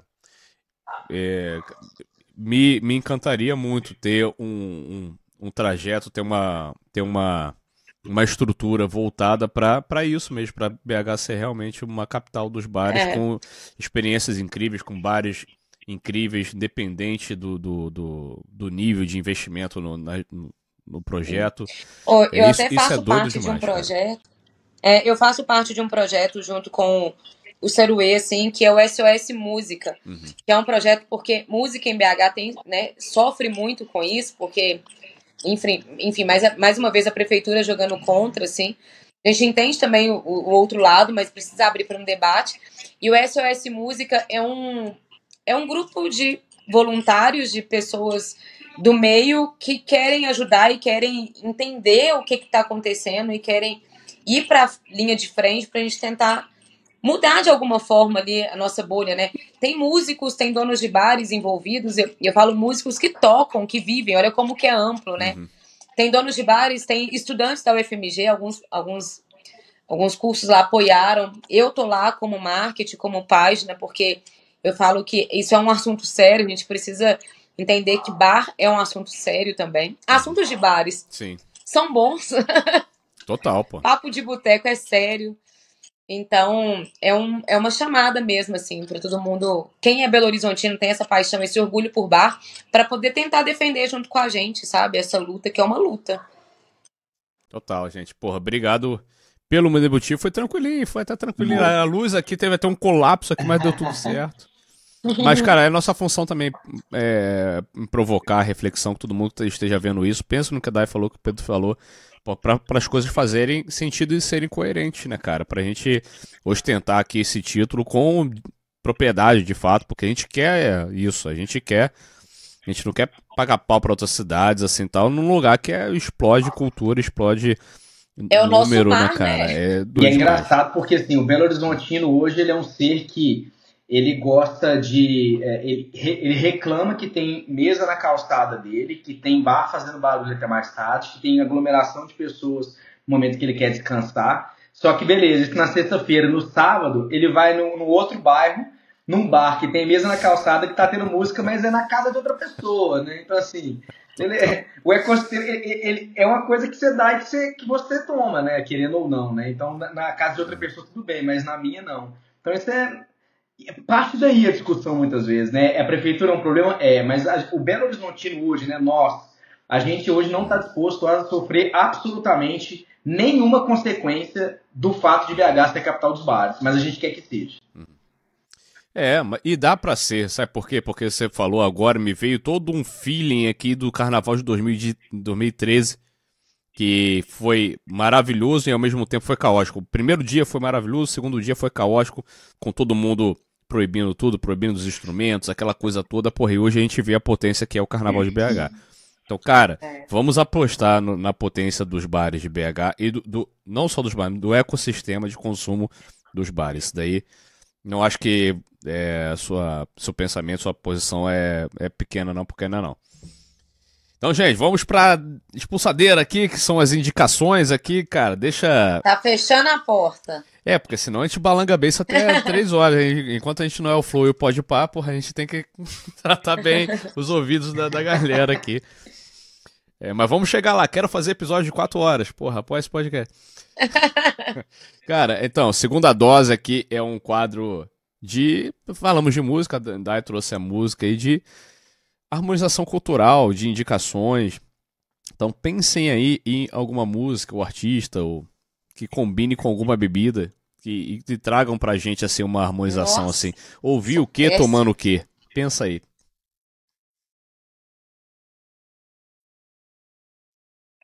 Aquela hora que o seu cérebro para, assim. É, pô, depois sai de um papo político pra, pra, pra playlist é foda, né? Reconheço, mas. Vai lá, quem vai começar? O Pedro.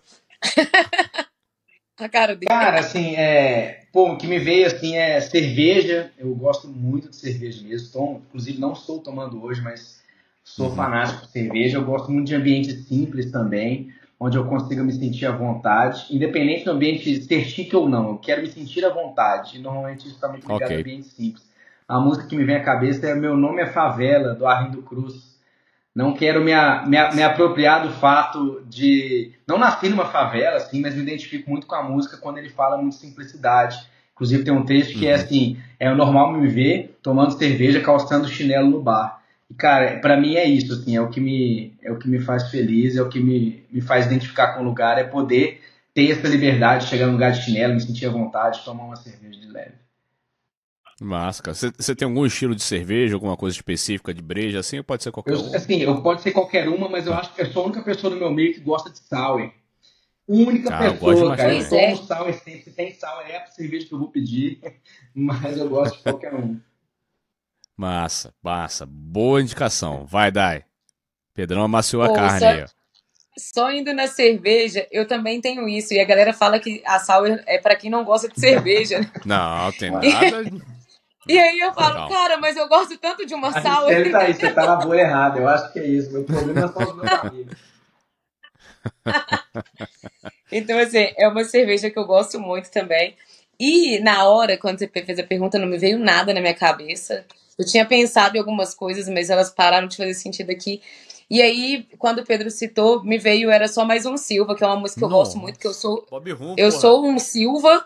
E quando eu vejo, assim, barra isso fazendo sucesso, né? Igual eles estão tendo esse reconhecimento, é de onde eu vim, sabe? É, eu odeio coisas, pessoas e lugares que me intimidam. E eu tenho essa afinidade com um bar, vou chamar de bar raiz, que é como a gente chama, uhum. assim, mas é o bar que meu avô tinha, foi a primeira Copa do Mundo que eu vi, de 94, façam as suas contas de quantos anos eu tenho, mas é, é, é, traz muita memória afetiva. E quando eu vejo é, esses bares ganhando destaque, foi até um, o primeiro texto que eu publiquei no, no BHZ, é sobre esse resgate, assim, que o influ a influência e a internet trouxe, né? E que bom que eles estão ganhando esse destaque, esse, mereci esse merecido destaque, porque foram bares que muitas vezes foram julgados. Meu pai mesmo era o cara que largava, um, largava do trampo dele ali, vinha de uma família humilde, vinha de um bairro humilde, que é o Jardim Alvorada, BH, não contagem. E ali onde as pessoas paravam num bar para tomar uma cerveja e comia comida de estufa que era feita pela dona Neide ali, tinha essa referência.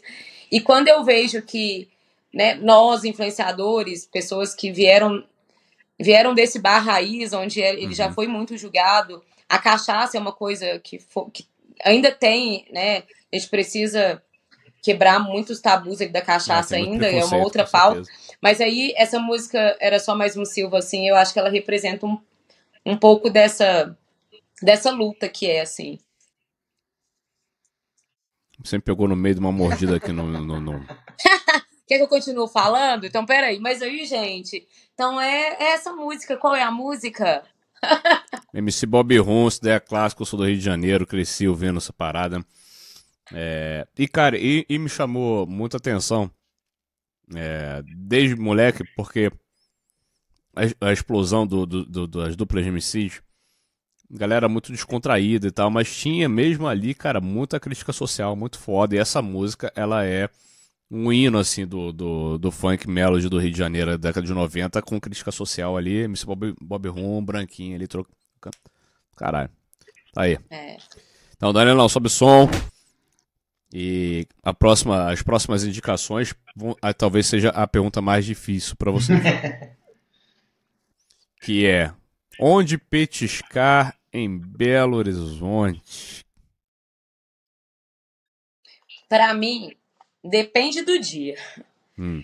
Eu, meu prato preferido é fígado com giló, sim. É uma coisa que eu sou apaixonada mesmo. Então, eu gosto muito de botecos no centro da cidade. eu gosto dessa, desse resgate, assim. Mas eu acho que tudo depende do dia. Cada dia eu acordo com uma vontade de petiscar num lugar novo, mas uhum. assim, um amigo meu até perguntou, que é um dono de boteco que eu amo, é o Rod, boteco do Rod. Ele perguntou se a Loura tá me pagando pra ser embaixadora do bar dela. Falei que é orgânico. Mas eu acho que o fígado com giló é, uma, é um orgulho para mim, assim. Eu amo estar no mercado central e escutar um turista falando, mas será que é bom, sabe? Então, assim. Então é isso. É o fígado com giló. Fígado com giló do Bar da Loura, seu top one é o top. Beleza. Vai, Pedrão. Cara, eu não tava nem pensando num petisco específico, né? Pensando assim, aonde petiscar. É... E pra... Essa pergunta é capciosa pra gente, né, Gleice? Pô. Total. Não, mas defende a casa, defende a casa, mas você abre espaço ali, né? também. Né? Assim, rapidamente, a gente tem, por exemplo, ó, o beijo grego no Rei da Estufa no Mercado Novo, tá muito gostoso. Porque é rabado e língua, cara. Não tem como dar errado. O nome é genial, beijo é grego, bom pra caramba. Agora... É muito bom. É gênio, é gênio. Vai ser maravilhoso. Você Foda. pede rindo, é, maravilhoso. Você pede rindo, come Maravilhoso. Rindo. Mas dois bares que assim, me chamam muito atenção também no petisco. Um, é, para mim, até o momento, é o melhor lançamento de bar de 2024, que é o Bar Padrim. Não é um bar barato, mas assim, é muito gostoso, a comida é muito alto nível, a apresentação é boa, o atendimento é bom. E são ingredientes que são essencialmente simples, né? Que é o frango com quiabo, é um caldo, é um cogumelo, é um, enfim, é um lombo de é, suíno. É muito gostoso e a comida vale muito a pena. Não tem nada que você vai comer lá que não seja muito bom. E o próprio Boteco do Rod também, que é uma história muito legal, porque eu falo que o bar tem alma, para mim tem a alma do dono, né? Se o dono não está presente, o bar fica um pouco sem alma ali. Mas o bar tem a alma dele, é muito legal, um cara novo, muito envolvido aí no, no negócio dele. E a cozinheira do, do bar cuidou dele quando ele era criança, assim. Então, Nossa. é uma história que, assim, tem, eu não sei quantos anos que ele tem, mesmo, assim, né? mas é uma história que já vem a vida dele inteira, assim. Ela cuidou dele, cozinhou para ele, quando ele abriu um bar, falou assim, pô, tem que ser essa mina, cara, não tem como. Contratou ela. E ela tem crescido aí Foda. junto com o bar e a comida lá também é muito gostosa. Ali eu já pedi de tudo, é torresmo, tilápia, caldo, é. tropeiro, tudo é muito bom. O Boteco Nossa, do Rod é um dos bares demais. que nós frequentamos muito e nós somos amigos, então é aquele bar que dá vontade de postar tudo o tempo Claro. todo, porque Uhum. nós amamos o marketing. Eles estão fazendo um rolê lá, ele me mandou, você não vai vir, não? Eu falei, eu, te- eu tenho que gravar. Que é quem conseguir beber mais chopp não paga a conta. Nossa, eu vi isso, cara. Não- Eles são meio loucos, assim. E ele me mandou essa mensagem, era 10 horas da manhã. Eu falei, ah, como Não. que eu não penso em cerveja 10 horas da manhã? Tem que conferir essas regras aí, cara. Pelo amor de Deus. É outra coisa, eu, eu comecei a beber cedo. Eu começo a beber 10 horas da manhã no sábado e no domingo, mas eu termino cedo. É, e como eu disse, da eu não, é cedo, eu não né? passo em um bar só. E eu não passo em um bar só também, tem esse rolê. Mas, tá aqui, mas fal- faltou uma pedida da casa, né, Pedrão? O que que petisco bom do Saruê aí pra galera? Bom libriano, Pô, é. né, Pedro? o Saruê é complexo que a gente tá com três cardápios diferentes ali nas casas, né? Mas uma coisa que me chama Uhum. muita atenção no Saruê Funcionários é o bolinho de bacalhau que chama bacalhau atropelado. Porque é um bolão de bacalhau, na verdade, porque ele vem amassado com maionese de peixe e picles de cebola roxa. É muito, muito, muito gostoso. Você pode gostar ou não de bacalhau, o negócio é certeiro. Vale muito a pena Nossa, pedir bacalhau. experimentar. Não, Ou, inclusive, o rango do. Saruê tá tão bom, assim. é, sempre foi bom, sempre amei a, a comida de Saruê. E teve um dia que o, o Bernardo Ancevai, ele, ele foi no Saruê Funcionários, ele... Cara, eu comi um escondidinho lá, que Escondidinho puta sacanagem, merda, que negócio... cara. Que louco. Eu nunca comi sacanagem Aí dessa ele- forma, assim. É muito bom mesmo. É, aí ele, que loucura. de E assim, sacanagem. É, é o escondidinho, É. o purê de batata sedosão ali, gratinado. E embaixo, ao invés de ter carne moída ou afins, você tem Hum. a, a- mortadelinha com a cenourinha, a cebola, tudo picado em Que é em sacanagem. Pra quem tá vendo a gente fora de BH aí, talvez não esteja entendendo. Existe um, um acepip, né? um petisco. O petisco clássico, que é a sacanagem, né? Que é o espetinho ali de mortadela com cenoura, cebola, é, que fica na conserva, né? Então é muito clássico isso em boteco e tem muito base eles fazendo esse resgate. E a maneira que a gente teve ali, através do Zito, que é o nosso chefe de cozinha, de fazer esse resgate, foi trabalhando isso no escondidinho. Mas eu acho engraçado porque é uma coisa que rivaliza ali na boca, né? Você tem a acidez da conserva, que é muito presente, que é igual qualquer outra sacanagem que você comeu, mas você tem uma ali, uma montuosidade que vem do, do purê de batata que torna esse petisco uma coisa bem específica mesmo, né? Só vai comer lá, não tem como não. Porra, total, cara. Gente, inclusive, você do futuro, o Pedro um dia ele vai participar do Masterchef. Você viu como é que ele, ele, ele tem uma propriedade pra falar? Aquela mistura da, da acidez muito com... foda. Esse menino, ele é bom, gente. Então, ó, Eu falei que eu vou escrever ele qualquer dia, porque ele tem medo, porque o Pedro ele tem medo de passar Ué, vergonha. não, o quê? Quando a gente fechar o episódio com o Henrique Fogaça, eu vou, vou trazer o Pedro aqui pra fazer parte da bancada aqui, porque Pode anotar que ele vai participar um dia. Bom demais. E foi um abraço também pro Zito. É, pô, tô querendo trazer aí também que gen- gente boníssima. A gente trocou uma ideia aqui depois do episódio do Torresmo. Pô, vai, procure no- nos comentários do episódio Torresmo Sensual, você vai ver lá comentário. É, isso aqui, esse dia foi uma curiosidade. Foi o quê? O Pedro falou comigo assim, em ar de fofoca, amiga, preciso te contar um negócio. Tava escutando o podcast do Balcão 360, e aí o Torres. e aí, se você ficou curioso, vai nos comentários Ah. pra poder descobrir. É isso. E pra fechar aqui, Rissele falou: "Ah, vo- vocês dois são librianos? Sim, os dois. Somos. E aí, nós dois também aqui, Rissele e eu aqui, então é tudo Pelo libra, porra. de Então, é- aí ó, é. É uma surra de fofura aqui que vai até as quatro da manhã. Pra fechar aqui e caminhar re- realmente, pedir a conta, pelo clima que vocês sentiram aqui desse podcast, deixa pra gente indicações de próximos convidados, quem você acharia que seria massa aqui vir trocar uma ideia com a gente aqui no balcão. Cara, um cara que eu gosto muito, assim, é, que, que tá nessa efervescência toda do mercado de gastronomia, mas que geralmente não fala tanto, é o Samuel do Jura, né? Geralmente o Rafael Quick, que é o responsável pela comunicação, ele sempre dá as caras, dá muita entrevista, tem muito conteúdo para passar, é muito legal. E o Samuel é o Uhum. cervejeiro, é um cara que, tá, que defende muito ali a- o conceito que eles trabalham e acho que teria muita coisa pra, legal para falar. Massa, massa, mano. Anotadinho. Vai, Dai. Bom, eu tento sempre trazer uma mulher para o meio, porque eu acho que nós somos a minoria ainda assim. É, tem algumas mulheres que eu admiro na, na, na influência, assim, que eu vou puxar para o meu lado. Uhum. A Renata do Oncevai junto com o Bernardo, eu acho que seria muito Nossa, massa. lindo. Tem a Amanda da próxima parada também, que ela ela é sozinha no rolê dela ali, ela Amigaça também nossa, pô, total. é, adoro a Amanda. Eu, eu, eu gostaria de ver mais mulheres. Eu vejo que vocês, vocês trazem bastante, mas é porque um dia eu parei para fazer uma reflexão. Quantas mulheres influenciam no meio, sabe? Assim, quando você pega páginas grandes, de, tô falando de milhão de seguidor, não tem nenhuma mulher no meio. Então eu acho que a gente só vai quebrar isso, como diz a Renata, mulherando os bares. Uhum. Então, a Carla da Brasel é uma mulher foda também, bem bastante representa- representatividade assim. Massa. Porra, gente. Demais. Anotadinhas, as indicações, tudo, tudo lindo. E só convidar vocês agora a deixar seus contatos, suas considerações, redes sociais aí pra gente fechar aqui o boteco e continuar aqui no after aqui. Beleza, é, obrigado pelo convite, Gleison, demais, foi muito legal o papo. Pode seguir a gente aí num bar, um bar por semana BH. Estamos aí sempre postando, respondendo todo mundo. E foi muito legal estar aqui, muito legal escutar vocês também, né? Já escutei, pô, quase todos os podcasts do Balcão Pô, e massa, apoio esse projeto. Obrigado, amigo. Obrigado demais. É. É isso, agradecer primeiro, né, a oportunidade. Foi bem rápido o convite, não esperava essa semana. Já quando veio, bora, Vambora, Quinta, vambora. bora. É, bora, Boro. Eu adoro isso. E, e é isso, agradecer, continue acompanhando um bar por semana, os nossos parceiros, Portal BHZ, quando, quando nós postarmos uma publicidade, sabe? Valoriza o nosso clica, rolê, o um nosso like. corre. Deixa um like, não precisa assistir até o final, não. Inclusive, uma dica, gente. Para o vídeo, para o algoritmo entender que você gostou daquele vídeo, do seu amigo que você quer ajudar, você tem que assistir ele. Entendeu? Uhum. Deixa, dorme assistindo o vídeo do seu amigo, assim, ó. Deixa lá, rodando, entendeu? Para ele entender.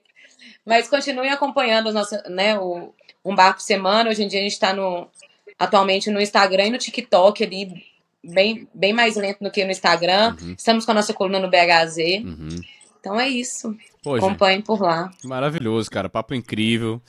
A gente é programado aqui. Vamos vamos tentar fazer um papo mais sintético. Ah, Não adianta, cara. Vocês entregaram coisa pra caramba. que bom. tô muito feliz aqui. Recebe tá acompanhando aqui no chat também. Fiquei muito feliz assim com a entrega, a disposição, a disponibilidade de vocês. É, cara, quem escutou até aqui, tenho absoluta certeza que aprendeu pra cacete, teve muito insight. E olha que a gente ficou ainda no nível nível 1, 2, assim. A gente poderia ter ido muito mais mais profundo, porque são temas que, primeiro, muito, muito novos, que precisam de muito, de, muito debate. E, mas também fica o ar de, pô, é, voltem sempre que vocês quiserem, é casa de vocês. Em breve teremos novidades aí. E. Bora marcar um bar pra continuar Então, o papo. total, total, total. Eu quero total. te comprometer agora também. Me comprometa. Qual é o seu petisco preferido? Meu petit é fico com giló, absolutamente.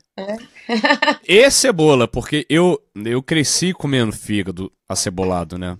É era minha, minha parada de criança, é meu, é meu petisco de criança. É, o meu Sacou? também. Então eu sempre gostei muito de fígado, farofa, fígado e cebola. Aí aos poucos a, a a farofa foi sendo um pouco mais cena, vai vindo mais a cebola. E quando eu mudei pra Belo Horizonte, já faz quase 20 anos, é, eu fui apresentado ao giló, né? Que até então eu não gostava. Aí eu me apaixonei pra caraca. Então hoje é fígado com giló e cebola. O que tiver ali. E vocês dois não são belo-horizontinos, né, gente? Não, sou carioca, Ricelli paraense, É. mas tudo chia é igual, assim. Respiram BH, muito legal. É, cara. Então, gente, inclusive, ó, só amarrando aqui a fala da Dai, faço da fala da Dai as nossas palavras. É... Curtam nossos vídeos lá, cara. Chega lá em arroba balcão 360. A gente acabou de soltar um vídeo. Queria deixar esse finalzinho de episódio dedicado a Ricelli. Porque ela fez um vídeo maravilhoso aí sobre o show do Bruno Mars aí em São Paulo. Que a Budweiser foi lá e curtiu, porra. Então, se é Budweiser tá curtindo, amigo, porra, pelo amor de Deus, você não vai É, curtir. Dar um like já ajuda, é isso. Porra, dá um like, pô. Então, em, em novembro estaremos no show do Bruninho. E quem sabe aí em São Paulo, Lindo. Budweiser, leva nós aí que a gente vai cobrir.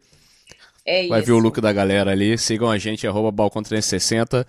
Apoia nosso rolê em apoia.se barra balcão 360. A partir de 5 reais que não paga nem um shotzinho de, de, de cachaça aí.